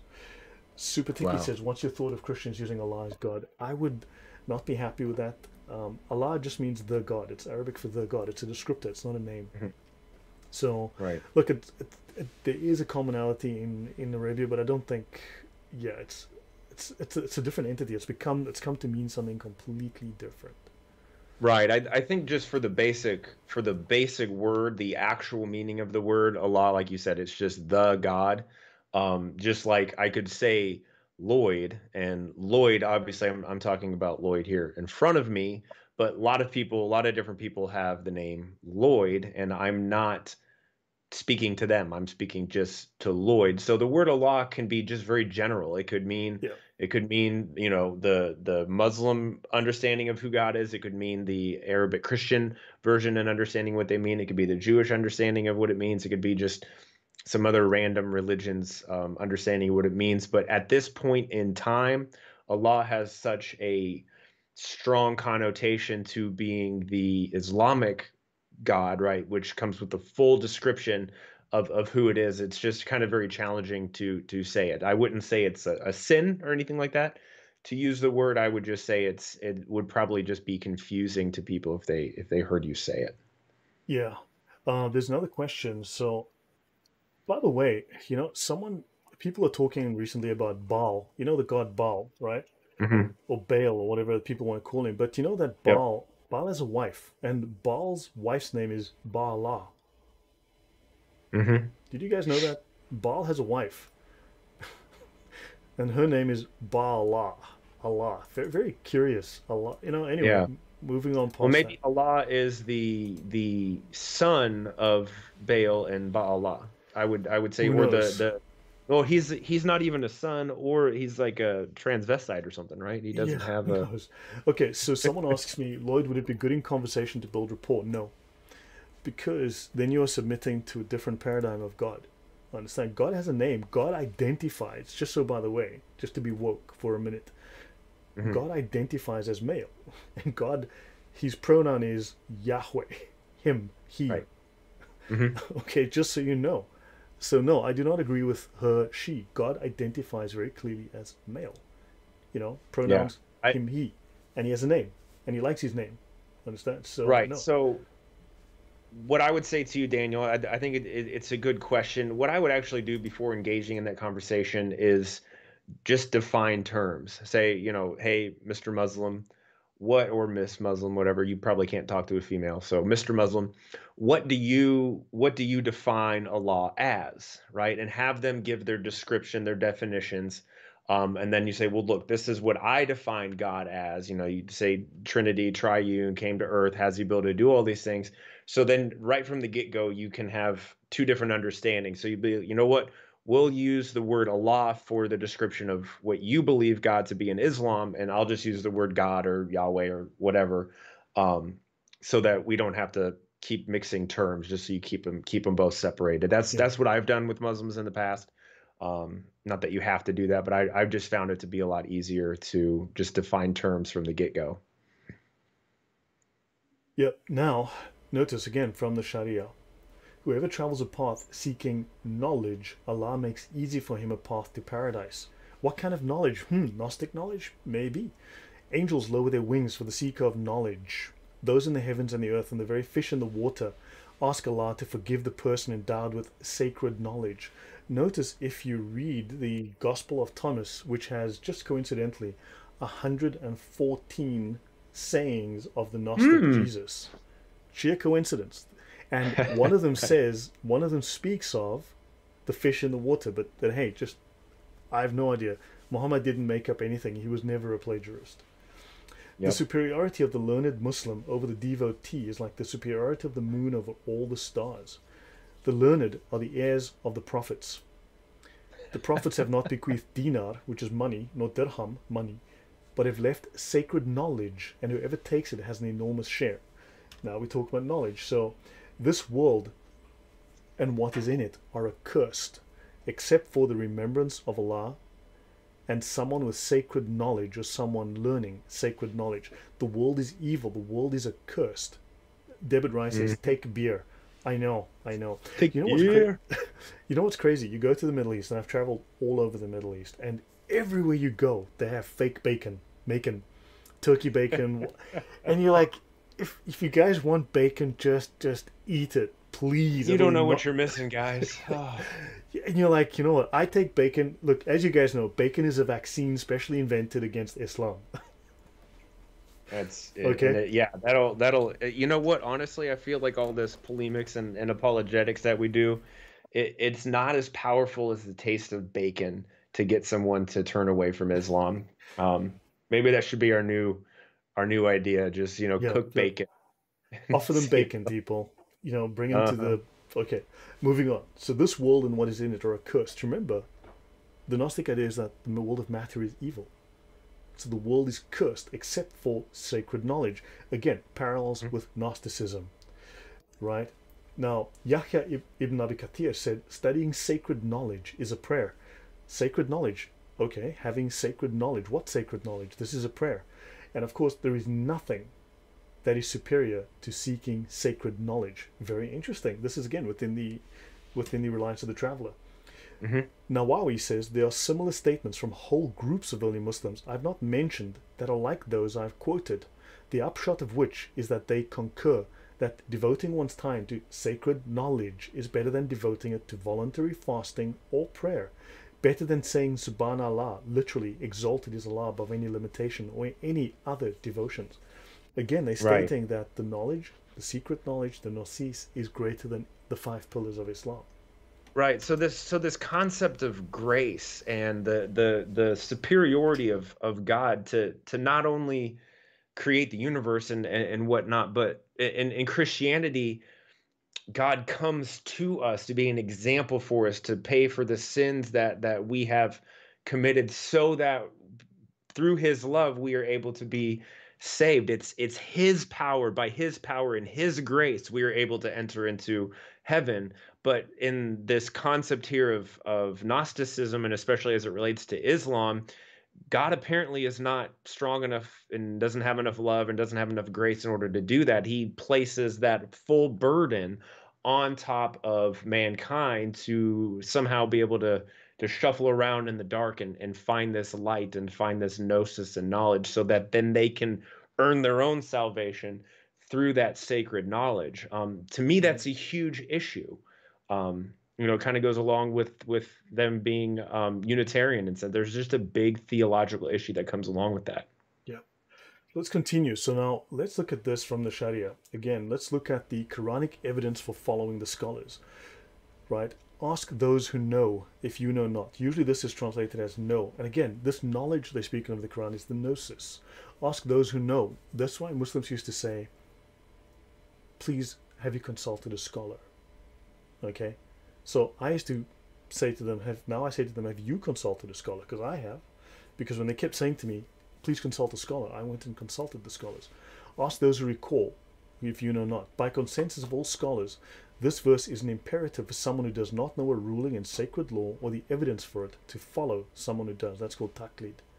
Virtually all scholars of the fundamentals of Islamic law have made this verse their principal evidence that it is obligatory for the ordinary person to follow a scholar who's a mujtahid. So you are meant to follow a scholar because the scholars have knowledge. They're the people of knowledge. Let's continue. The ulama, the people of knowledge. So related words, alim, faqih, ulama. Ulama, the term denoting scholars of almost all disciplines, although more specifically, scholars of the religious sciences. They are regarded as the guardians, the transmitters, and the interpreters of religious knowledge and mm. of Islamic doctrine and law, embracing those who fulfill religious functions in the community that require a certain level of expertise or knowledge in religious and judicial issues. The alim is often seen as a, opposed to the adib, he of profane knowledge, right? So versus profane knowledge, right? So understand now this is taken out of the Encyclopedia of Islam, links in the description. Okay, let me continue. Now, the very first opening index of the Reliance of the Traveler says that chapter A is sacred knowledge, and then why you have to follow the people of knowledge, right? Then they talk about the knowledge of good and bad. Why? Because morality in Islam is based upon knowledge of the Sharia, not your feelings. It says you have to know, you have to ask the scholars, and they will give you the knowledge. Don't forget the knowledge of the tree of good and evil. Mm-hmm. Okay, Allah is the name. Allah just means the God, Smiler. I mean, it's not an actual name. Yes, it's become His name, but Allah just means the God. It's a descriptor, right? Allah is the is the term. That may be, but then we'll have to look at it. I mean, because if you look at some of Dan, I've looked at Dan Gibson's work, and I mean, he speaks of Baal Shaman, and that's that's he's got some very very compelling information there. Right, moving on though, science. Let's look at science. Ilm, alim, faqih, ulama. Now, within the Encyclopedia of Islam, religion in Islam is is the same as mysticism and mystics. Mystics, well, these guys do occult magic rituals, right? Jurist, faqih, okay, ulama, faqih, it denotes anyone possessing knowledge. So a faqih possesses knowledge, fiqh of a thing, okay? Which is synonymous with alim and ulama. And again, ulama, remember, people of knowledge. Let's look at ulama, plural of alim, okay? Active participle of alima, to know. To know what? To have the knowledge, right? And however, the term refers more specifically to the scholars of the religious sciences. Now that's mm. interesting, religious sciences. Let's take a look at this word sciences for a moment through the knowledge, through the lens of the Bible. So this is Gnosticism, Jesus' special knowledge. Now, some Gnostics texts claim that Jesus taught that the world was a prison created by an evil God. That would be in the first apocalypse of James. Mm-hmm. Then the world is guarded by evil archons who require a secret password. Okay? Secret knowledge. The password is password. now, Paul warns Timothy in 1 Timothy 6, verses 20 to 21. Paul warns Timothy about Gnosticism when he says, O Timothy, guard what is committed to your trust, avoiding the profane and the idle babblings and contradictions of what is falsely called knowledge, the gnosis.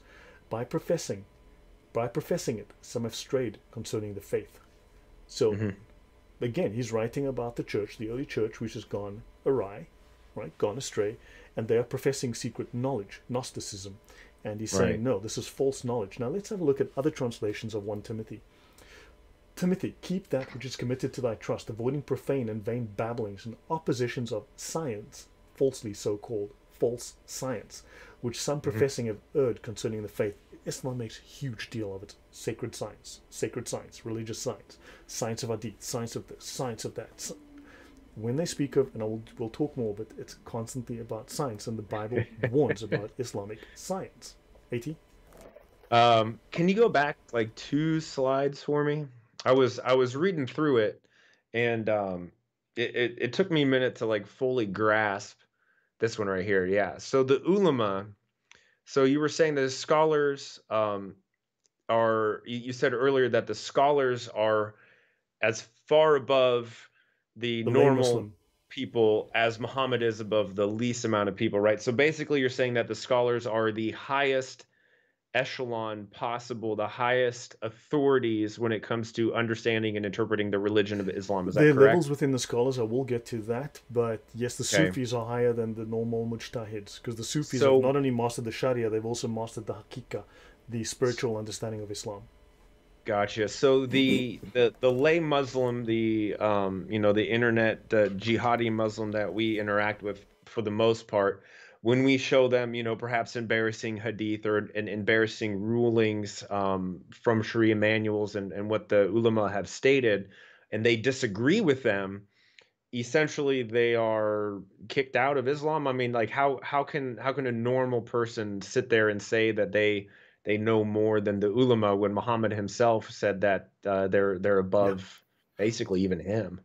Look, unfortunately, the remember it's it is obligatory, it is mandatory for Muslims to lie to you in circumvention of you, and they they just winning at all costs is really what they're about. It's got nothing to do with with knowledge. You are wrong. You are evil by default. But yes, it's stupid. I know. Let's move on. In fact, a general tendency was to be observed among practitioners of the religious sciences to consider as certain knowledge only that inherited from Muhammad, albeit with nuances conditioned by their theological orientation. So Muhammad, you see, brought special knowledge. Muhammad brought secret knowledge of the religious sciences. When, I, when Islam speaks of science, they don't mean the kind of science that we know, like, you know, like where semen is produced, you know, like real stuff, and that the earth the sun doesn't rise out of a puddle. Well, but, but spiritually, but the spiritual gnosis of that is just real scientists don't understand. Well, right? Dude, Islam just hurts my brain. So, now let's look have a look. Let's have a look at this. This is a reference again from the Encyclopedia of Islam. Now they speak here of for Ibn Taymiyyah, blah blah blah. This the science par excellence. Okay, the pinnacle of science is that which derives from the Prophet Muhammad. Now, I don't recall him winning a Nobel Prize myself, mm-hmm. but apparently he, he did win a Nobel Peace Prize. No, no, no. He he would win a Nobel Pedophilia Prize if they handed one of those out, oh, but I would. But apparently, the greatest of science originates with Muhammad. All the rest is either useless or does not deserve to be called science. So apparently, so in other words, only Islam, the Islamic sciences, the religious knowledge. Remember, the religious knowledge in Islam is a science, and uh, right, and the jurist, yeah, blah blah blah. Stepping into the stepping into the restroom with your left foot prevents the shaitan from in, in interfering with yes, your and bowels. You have to say an incantation exactly. And there are numerous prophetic traditions, hadith, on the study of science which concern only religious knowledge. Do you understand? science in Islam is an understanding of secret science, esoteric, occult science. Mm-hmm. Now, yeah. let's continue. The ulama have long been seen as a very distinct group, a regulated and structured body expressing the popular voice, constituting the solid framework of permanent government behind changing dynasties. You would know Hmm. them as the deep state. Right. Yep. Right. Now let's have a look at this word ghaib. Now this is now we're talking about hidden knowledge and the Illuminati. Let's have a look. Ghaib, what is hidden? What is inaccessible to the senses and to reason? With rare exceptions, it stands for mystery. In mysticism, it means the reality of the world beyond reason, which gnosis experiences. Reba, occultation, what is hidden. In mysticism, blah blah blah blah blah. Right? So Islam has a term for this. What is hidden? What the scholars know that you don't. Right? Let's continue. Well, Now- you know what I was thinking actually, really quick. Remember that movie Weird Science No. from like the '80s? They uh, there's like t- two nerds uh, get together, Oh, yes. and uh, this actually reminds me a lot of Islam. They get together and they create like the the the perfect uh, like robot type of woman. I, I feel like that Weird Science Yeah. um, is a little bit what happens when you get to Jannah, right? Like you have your your Yeah. 72 um, perfectly created um, virgins, apparently perpetual virgins with see-through skin, and you can see Yeah. their bone marrow, yeah, uh, which is I should mention that Smiler did say that Allah without a hyphen means the name of God, which is apparently different to Allah, as a different term meaning the God. So, so Okay. yeah, I mean he speaks Arabic, so he should know. So we can chat about that again. yeah. Um, but yeah, but thanks for that clarification. I appreciate that, uh.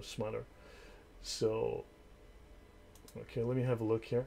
So, now, moving forward, this is from Al Ghazali. Al Ghazali is the number one scholar of Islam, above even the four Imams, right? Who founded the four schools of jurisprudence. And he's the number one scholar of Islam, just below Muhammad. Okay, so he's the greatest scholar who ever lived besides Muhammad. This is in his book, the Ihya Ulama. No, no, no, it's not. It's in the Mishkat al Anwar, the niche for lights. And this book makes many, oopsie, sorry, makes many direct references to Gnosticism. But let's look at this little line that says here.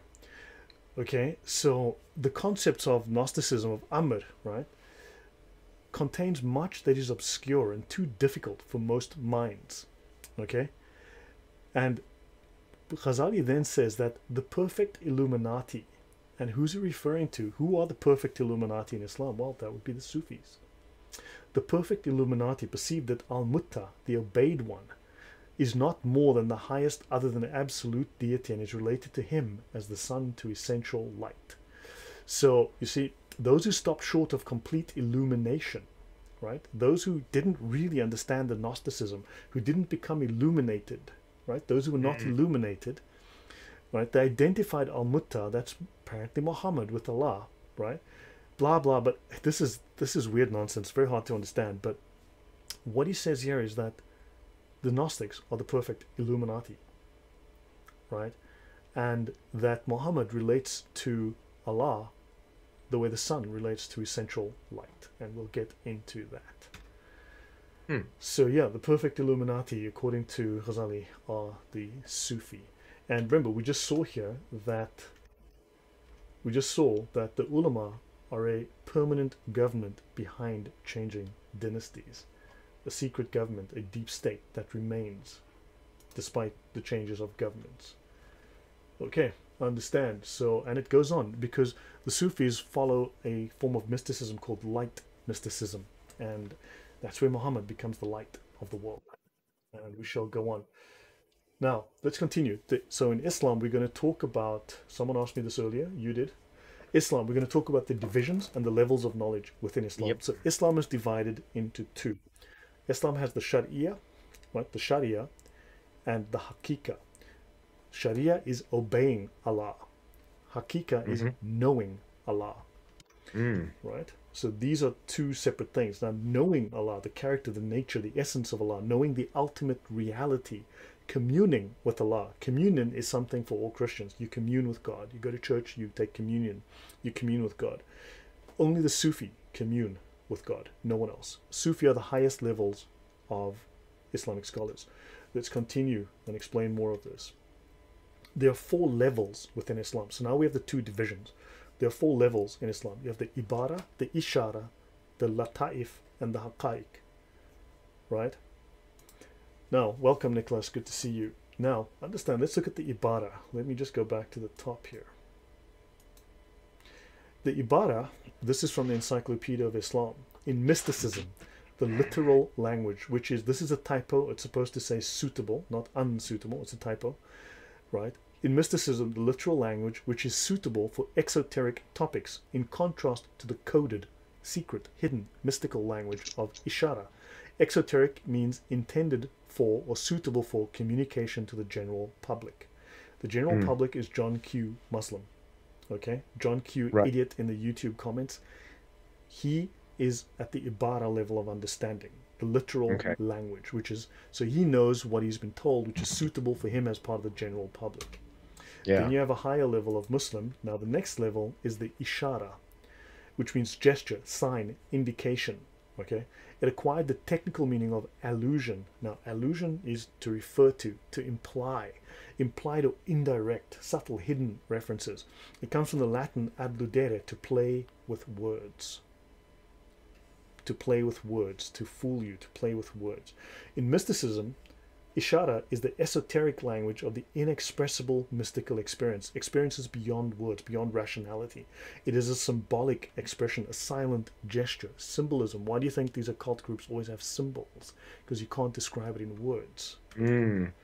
Latifa, single, right? Lati- Latifa, single, and plural, lataif. In mysticism, the subtle organ, a theory of levels developed from the time of Najm al-Din Kubra and the mystics of his school. What's interesting is that the this is from the index of the Encyclopedia of Islam, not the full encyclopedia. Okay, I just I wasn't going to go through like a whole long, but you can go to volume 5 300b and volume 12 753b.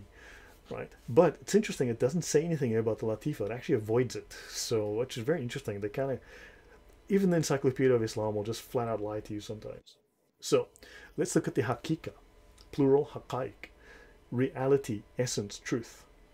In exegesis, the basic meaning of a word or an expression and is distinguished from blah, from metaphor.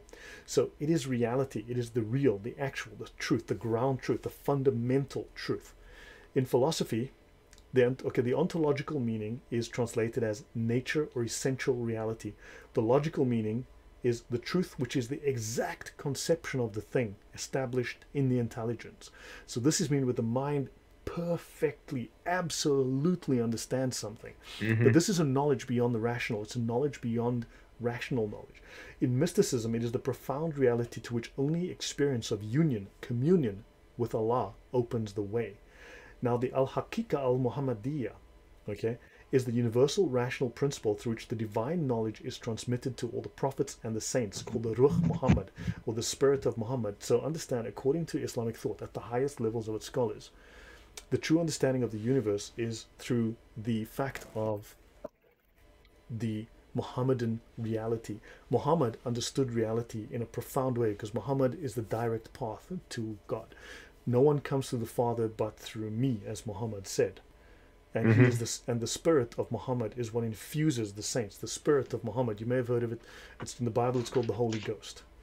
And Haqaiq right. is the term for secret philosophical doctrines. And we need to dig a little more into this. But any questions or comments, AT, so far? No, dude, this is a lot of information. I'm probably going to have to uh, rewatch a little bit, at least this last part again. This is really deep, deep stuff. But um, somebody said basically, so the hikaka, uh, the uh, the okay. mysticism is the highest level of Islam, correct? Yeah. So you've got your four. Remember, you've got your ibara, ishara, right, and the, the Yasir Qadhis and shabi, shabi sheikhs and all that they're mm-hmm. on the Ishara level, and then the next level is the Sufis. The next two levels are yeah. for the Sufis. The saints of Islam are Sufis. They're all Sufis. So the next two levels of understanding, right, is strictly it's a pyramid, and you get to the top. The pyramid, by the way, and then you get to the yeah. top, and you've got the Sufis, and they have the secret understanding of the character of Allah, the nature of Allah. Let's have a so, look at what does the word mysticism mean. It's the experience of mystical union or direct communion with ultimate reality as subjectively reported by mystics. The belief mm-hmm. that direct knowledge of God or spiritual truth or ultimate reality can be attained through subjective experience. And also, mysticism also means vague speculation of belief with no basis. 18. I like that definition the best. Yeah, you know, I I- was thinking, how, how do you pronounce that last? Is it Hikaka?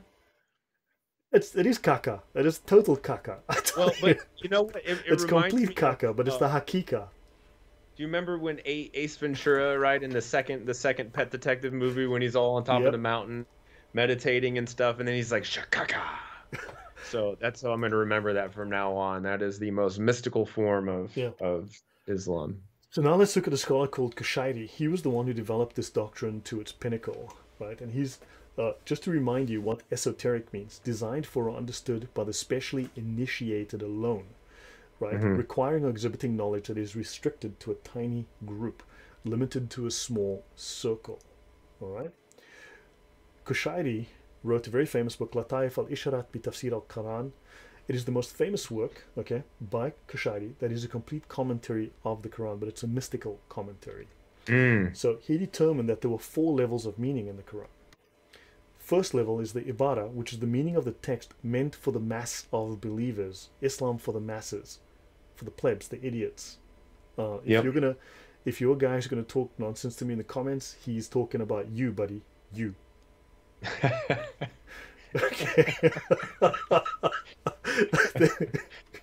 How can I say that in a very brief sentence to any of the, the Muslim trolls? I want to I want to be able to be like you are an Ibarra, and like how many of them do you think will have any idea what I just told them? They won't. They have no clue. They have no idea. And Built for Speed says, "Hey, Kaka." Yep, that one's exactly. It's total Kaka. Second, the ishara, only available to the spiritual elite. Okay, only available to the spiritual elite. Who are the spiritual hmm. elite? Well, those are the mujtahids, the scholars above them, right? And lying Yeah. beyond the obvious verbal meaning. So this is the lines between the lines, the words between the lines. What's between the lines? So- That's the second level. Yeah. Are those are, are those like your imams and stuff? That would Or be yeah, your your mujtahids, your sheikhs, your imams, your jurists, you know. But these are the Okay. people of the Sharia. Smiler, that was thanks. Um, when we have a chance, I'll catch up with you on the um, Discord because I'm on Adam Seeker's Discord. Um, so yeah, um, if you guys want to find me, Adam Seeker's Discord is the place to go. Anyway, so the Ishara is only available to the spiritual elite. Now the fourth level, that's the third level. Sorry, the Lataif refers to subtleties in the text that were meant particularly for the Sufi saints, for those of great mystical and spiritual understanding. And mm. finally, of the Haqqaiq, which he said was only comprehensible to the prophets. Okay, now these are your top scholars, and these are the Yeah. secrets that they are chasing. Right now, this text placed him among the elite of the Sufi mystics, and it's widely used as a standard. This is the standard of Sufi thought. Now, let's go Yeah. back. Ibara, remember, literal language. Ishara, mm-hmm.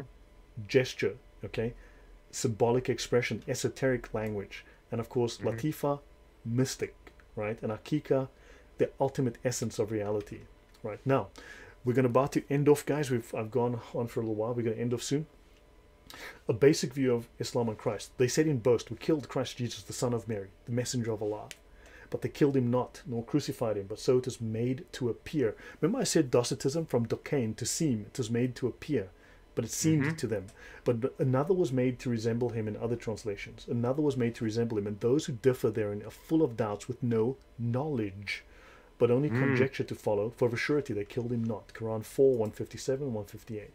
Now this brings us briefly to Manichaeism, a dualistic Gnostic religious movement founded in Persia in the third century by Mani. And this thing is crazy. Read up on Manic. Oh, it's nuts. Who was known Yeah, as the Apostle yeah. of Light, the Supreme Illuminator. Now, in this book, uh, let me just get the reference so that in case someone asks, this book is Heterodoxies of the Shiites according to Ibn Hazm. Okay, it's mhm. available on archive.org. Heterodoxies of the Shiites according to Ibn Hazm. Right? And this is the influence of Docetism on Islam. It seems highly probable that this doctrine, Docetism, came to the Muslims through the medium of Manichaeism, right? Which adopted this belief and gave it a definite shape. The Jesus of the Manichaeans had no objective reality as a man. His human appearance at birth and baptism were mere apparitions, and so were his sufferings. It was not he who was really crucified, but an emissary of the devil who tried to frustrate the instructive activity of Jesus and who, as a punishment for his wickedness, was fastened to the cross by Jesus himself. That is from Kessler. Now, this book dates to, I don't know, probably the late 1800s, early 1900s.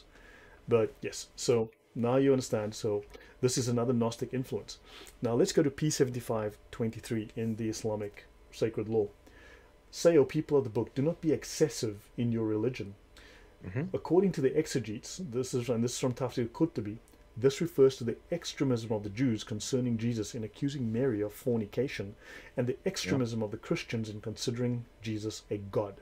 For both Mhm. excessiveness and remissness are evil, and both are kufr, unbelief. Right. And it's amazing how they misrepresent what Christians actually believe, even in that statement, right? So the Christians for considering him a God, right? Yeah. Trinitarian Christians don't consider Jesus to Yeah. be a God. God. We're, we're Trinitarians. He So it's, it's interesting how they misrepresent, and they still do. Even when I explain to people what a Trinit like what Trinitarian is, I can give them, you know, um, the the the dogma on the statement. They still are like, but that's three gods. I'm like, oh, uh, you know, where do you Right. go? I don't even know. So let's continue. I'm going to try and finish in the next 10 minutes, guys. So notice here they speak of, I am the truth. So they speak of the Christians, the mistake of the Christians who saw this, that he is the truth, in the person of Jesus. And they said that he was the divinity. So the mistake of the Christians, now this is from the Reliance of the Traveler, Mm. right? So we made a mistake in seeing Jesus as the truth because Muhammad's the truth. And we said that he was the divinity because Muhammad's the divinity. Let's continue. Now, this is the formal, within Sunni Islam, this is the formal orthodox Sunni Islamic position on Isa. Okay?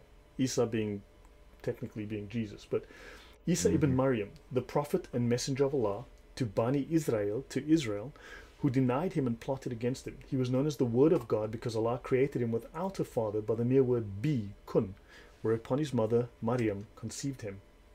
Among the many prophetic miracles given to him by Allah was he raised the dead. Now I'm just going to move my mouse here. He raised the dead, made the blind see, he healed lepers, and he molded a bird from clay and breathed into it, and it became a living bird, which, as anyone knows, is not from the Bible. It is a direct reference to the infancy gospel of Thomas, a mythical tale that has no biblical support. It is merely Correct. a myth, a folk legend, a tale, a story told to kids. Yep. Okay. Now, let me just go back a second. Okay. Now, right. He so notice it is related that when the sacred law was summarized before him by a lawyer in the words by a lawyer. Now, why by a lawyer? Think about it. Because the lower levels of Islam, the Sharia, those scholars, those first two levels, those are lawyers. They're not priests. They're lawyers. The upper levels are mystics, right? So Mhm. it is that you love the Lord your God with your whole heart, whole soul, whole strength, and whole mind, and that you love your neighbor as yourself. Isa confirmed him in this. When Bani Israel wanted to kill him, Allah saved him, as described in the words of the Holy Quran. They did not slay him or crucify him, but it was made to seem to them. Docetism, to seem. Quran Yep. 4, 157. When Yahuda, chief of the Jews, met with a band of his people to kill Isa, Allah sent Gabriel to Isa to lead him to a covered alleyway that had a skylight, through which he was taken up to the sky. Yahuda, in pursuit, ordered one of his companions to follow Jesus into the passageway and then murder him. Allah cast the face of Jesus upon the man as he entered, and when he came out again after a fruitless search, the Jews attacked and killed this man, thinking him to be Isa, and then they hung him on a cross. This is the official doctrinal position of Sunni Islam on So they killed him first, and then they hung him on the cross after he was dead. Is that what I just said? Yes. But of course, if you can read Ibn Kathir, then they speak of a companion, the youngest companion of Jesus, Yep. said, Hey, hey, pick me, pick me, pick me, pick me. And then Jesus said, Uh. Okay, buddy, you're going to kill yourself. Off you go, buddy. And then they, they and then in other stories, it's, it's, um, it's, um, Uh, so when they say that we are in doubt about it, what they really mean is they themselves are in doubt about it, right? yeah. So David says, Where's this, where are the witnesses? Dude, there are no witnesses. Just, it, it's, it's, it's, The witness, first of all, dude, don't even ask questions. The witness is the Almighty and all-seeing Allah. Okay, the best of deceivers. This so you nonsense. have to I mean, trust. but understand, if you read Ibn Kathir, then it's the youngest companion said, "Hey, pick me," and Jesus said, "Okay, buddy, off you go." And this guy insisted, and then they picked him and they put his face on him and then they killed him. and then, of course, uh, and then you have Judas, and in other versions, it's Judas who was punished. uh-huh. I mean, understand? Yep. They can't make up their own minds. I mean, it's just a mess. Or it was this- Simon Simon of Cyrene too. You know, so they they literally don't know. I just find it so ironic the projection Christians don't know. They're in doubt about it. No, we're not. I don't. Rec- I don't recall any Christians being in doubt about the death and resurrection of Yeah. Christ. I don't even recall any modern historians or scholars or textual Correct. critics being in doubt about his crucifixion. Veronica says among all the unsuccessful heresies, Islam was the only one with a political goal and an army. And she's right. Yes. Yeah. Now, some claim it's Judas, but already hanged himself before the. Yeah, Judas hanged himself before the crucifixion. Thank you for pointing that out, Michiel. Maybe we just need to. You know, guys, you know what we're doing wrong? We just haven't taken the time to logically, factually explain to Muslims, oh, by the way, you've made a mistake with that. Here are the facts. Just give them the facts, and they will simply just understand, and the problem is solved. That's all you need to do. Yep, that's it. That's all you have to do. Just you give them the facts, guys. I don't know why that's never been tried.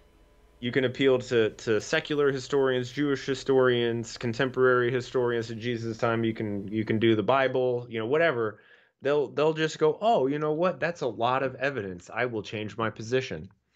That's you know yeah. everyone does it. The moment you give them the facts, everyone changes their mind. It's the rational, logical thing that we all do that. Right. Mm-hmm. Moving on. So now I want to talk about the Nuri Muhammadi, the light of Muhammad. This is found most exclusively in the biographies of Muhammad, the Sira, effectively the Gospels of Muhammad. So, guys, last couple of slides. I'm going to end off soon. Eva, Muslims don't listen no matter what you give to them. Of course not. I was, I was being sarcastic. Yes. Muslims love the Gospel of Thomas and Barnabas more than the canonized ones. Don't ask me why. Yes, exactly. So, guys, to end off, to begin ending off. Now, the Prophet was born on Monday, the 12th of blah blah, in the year of the elephant. It was the most auspicious day in the history of mankind. But according to other scholars, he was born on the 9th. And according to other scholars, on different. Dude, they, they can't even. They don't even know what day he was born. the most auspicious day in history of mankind. Yeah. And I mean, they'll, they'll say here, the you know, whatever. did they can't make up the day he was. So now, let's have a look. Ibn Kathir, volume 1, page 210. Okay, they speak of Ibn Farouk bore witness that only three persons in the entire history of Arabia had been called by the name Muhammad during the pre Islamic hmm. period. So Muhammad was only the hmm. fourth person in all of history to be called Muhammad. Their Say not three. Yeah, so they had been given this name since their parents had heard from the Jews and the Christians that a new prophet was to be born in the near future and that his name would be Muhammad. The Jews and the Christians were telling the Arabians that a prophet by the name of Muhammad was going to be born. Where's where's is there any record of that, Lloyd? Like no, literally of course anywhere? not. They, they literally sucked that out of. A Christian monk by the name of Bahira lived in this city, and he said, "This is the chief." When he saw Muhammad, he said, "This is the chief of the world and the messenger of God. God has sent him as a mercy for all mankind." Why do you say this? And Bahira explained, when he came this side of the pass, the stones and the trees bowed in prostration. and they do not prostrate for anyone other than a prophet. I recognized him from the seal of prophethood, which lies like an apple on the soft bone below his shoulders. It is mentioned in our scriptures. It is- Seriously, we don't even have to write jokes. We can just read this.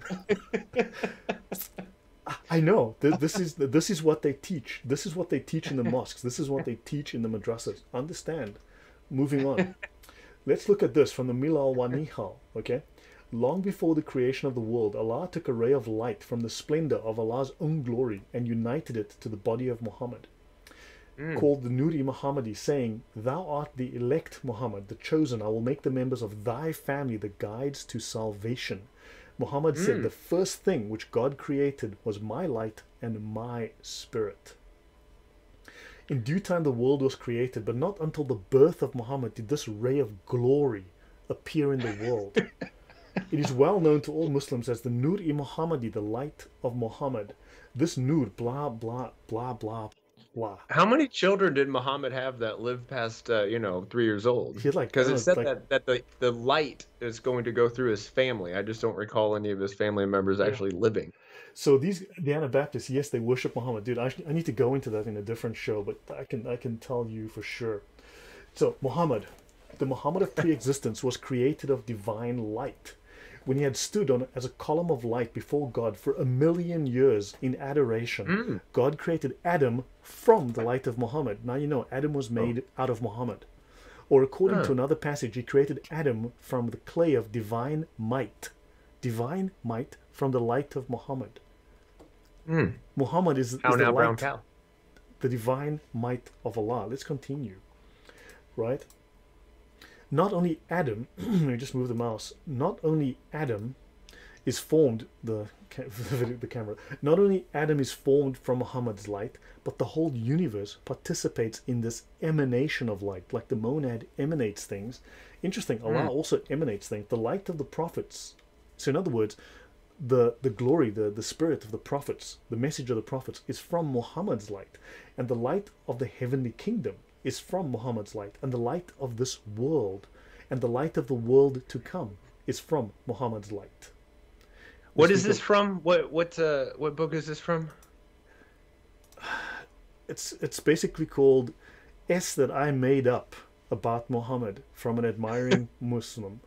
Dude, it's the mystical vision of existence in classical Islam. And, okay.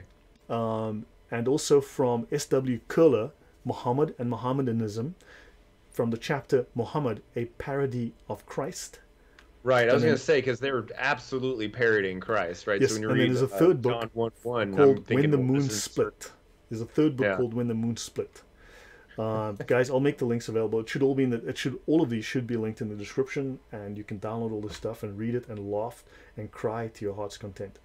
So understand, Muhammad is the light of the world. He's the light of heaven. He's the light of the universe. Muhammad is a deity. Okay, emanation, emanation, and everything is made from the light of Muhammad. Okay, God created.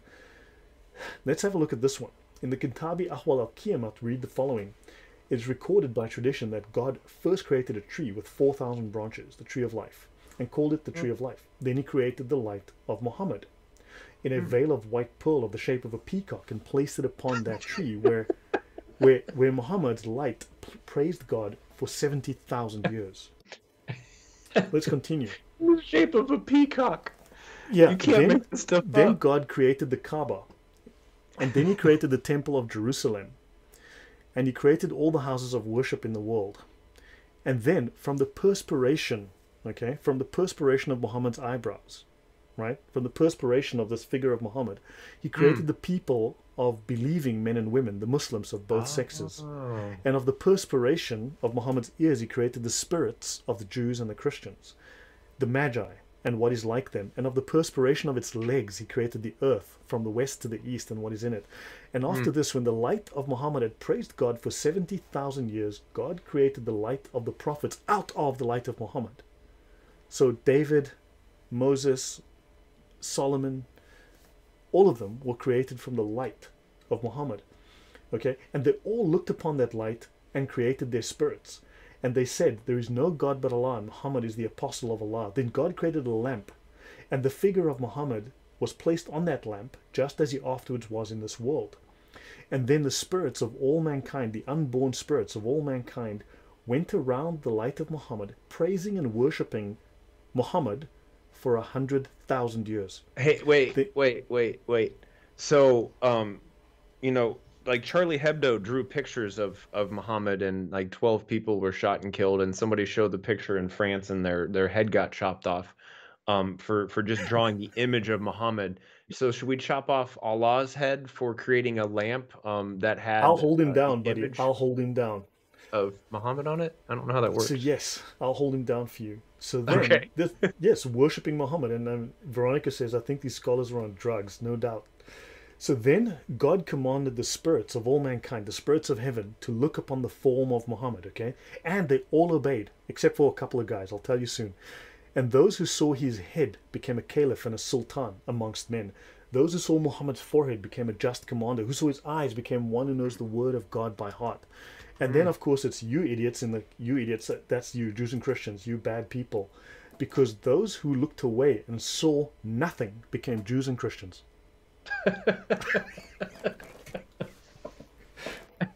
Even though all the prophetic lines come through that, whatever, it's fine. So the nemesis of infidel says, "This is a knowledge on a deeper level. These sessions leave me speechless. Thank you for your time and your work, dear Sport. You're welcome. Thank you, guys. Um, this takes me hours of reading and research. I would, I do appreciate um, if you support the channel. It really, it makes a Mhm. difference in my life, honestly. Absolutely. Um, guys, so yeah, if you do want to contribute, I, I am always very grateful. It really, really helps. This is not exactly five minutes of work, believe me. This is days of my life that goes into this. Okay, so moving on. So because you became a Jew Christian because you saw nothing, you looked away when Muhammad was standing as a pillar pillar of light in paradise.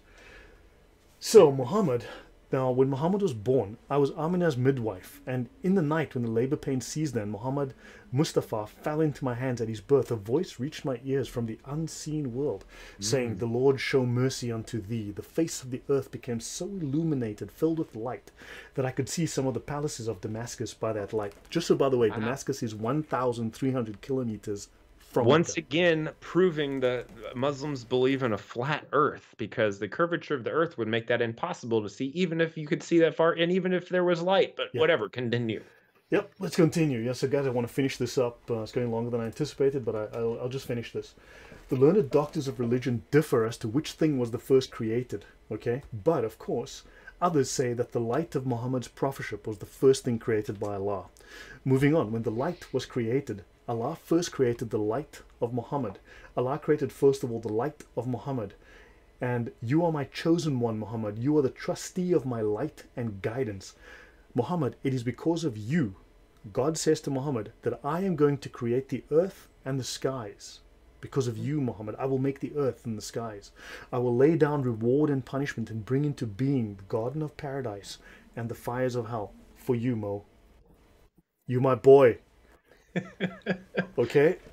And then there's the covenant which is taken from all the souls which combine the belief in one God with acceptance. So all the angels and all the souls of the world, a covenant, an agreement was made with all the souls which combined belief in the one God with acceptance of Muhammad's prophethood. So before you were born, you believed in Muhammad. And then you were corrupted here on earth. So this is why Ibn Abbas says, I was a prophet when Adam was between souls. So Muhammad is a prophet before even Adam was born.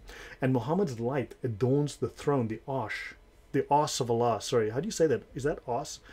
Muhammad's light adorns the arse of Allah. I'll continue. Muhammad's mother said, When Muhammad was born, a light issued out of my vagina that lit the palaces of Syria 1,300 kilometers away. It was controversially reported that significant signs accompanied his birth. 14 galleries of Caesar's palace cracked and rolled down. The Magian sacred fire died down, and churches on Lake Sawa, right, sank down and collapsed. Someone sent me a Skype message. I think. Let me check in case it's someone saying, "Lloyd, you're talking too much. Stop, please stop." No, it's me because I want you to end the video with this. Okay, fine. And then, so guys, I just wanted you to understand that Muhammad is the light of Allah. Muhammad is the light of the world. Muhammad is the counterfeit Jesus. Muhammad mm. is a deity in Islam. This is what they say. People worshipped Muhammad. Understand? Right. It's the arse of Allah. I agree with you. I certainly agree. The arse of Allah. Right. Now, Jesus says in the Bible, I send you as lambs among liars. Okay?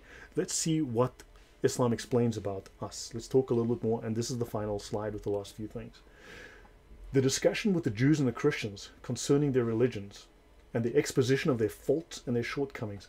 The Medinan verses sought to invite the Christians and Jews to Islam primarily by exposing the corruption in their books and beliefs, by explaining the true teaching of Moses and Jesus.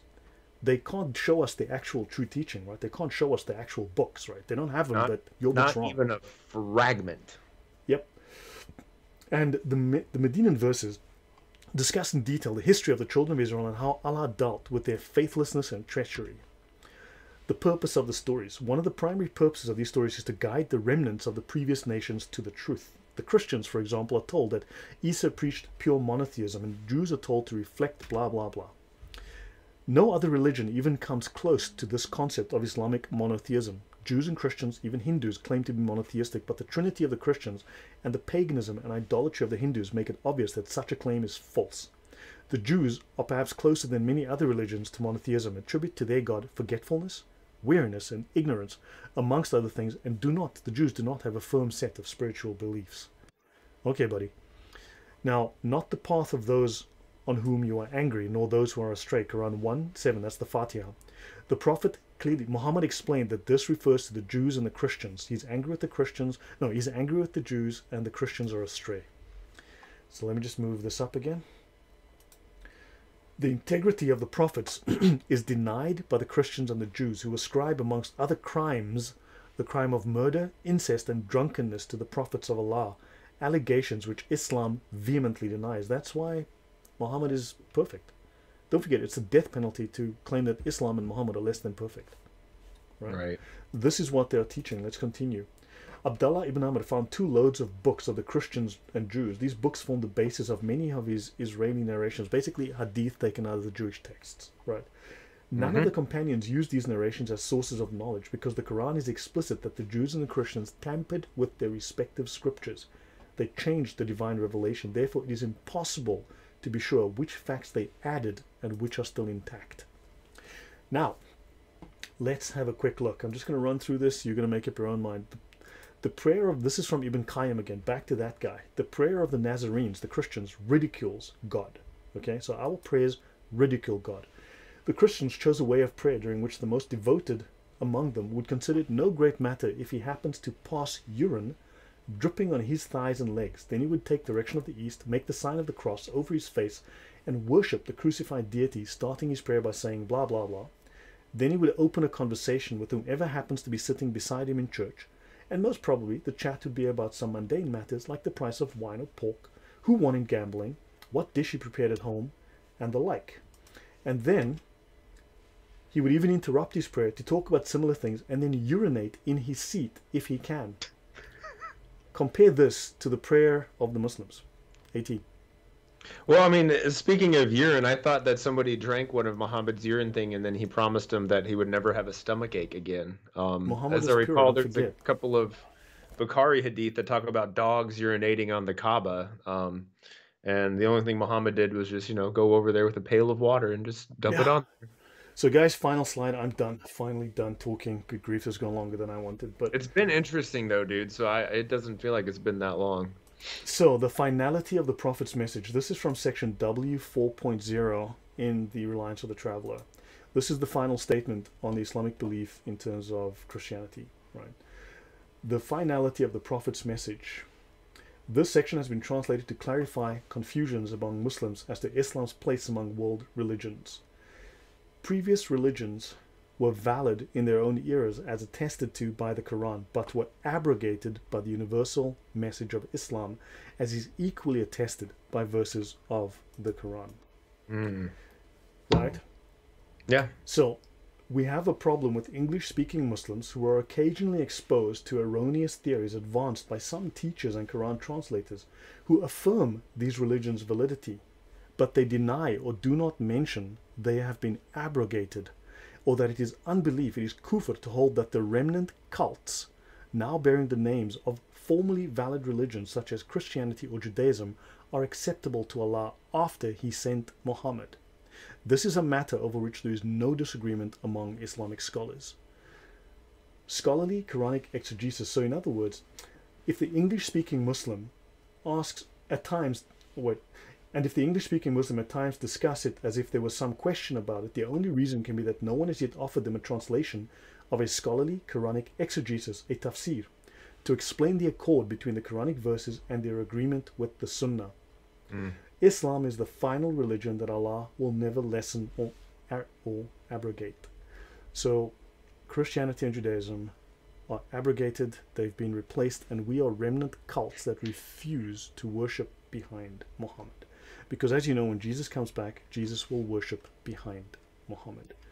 And so Islam is very militant Gnosticism. Done. I'm done. I'll leave it to you, At. Well, talking about abrogation, um, you know, there was the the verses of stoning and of breastfeeding a, a, a grown man, right? Like five times or ten times, or whatever.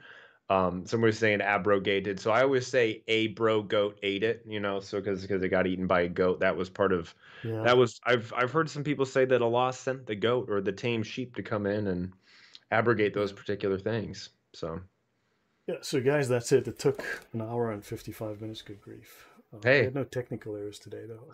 I don't think we did, man. And it was honestly, it was it was super enlightening for me and super super interesting. Um, yeah, he's Muhammad is a peacock, dude. You got to let him fly. That's all I'm gonna say. Yeah, yeah. I wish the Arabs had more goats at the time. They could have eaten more of the Quran.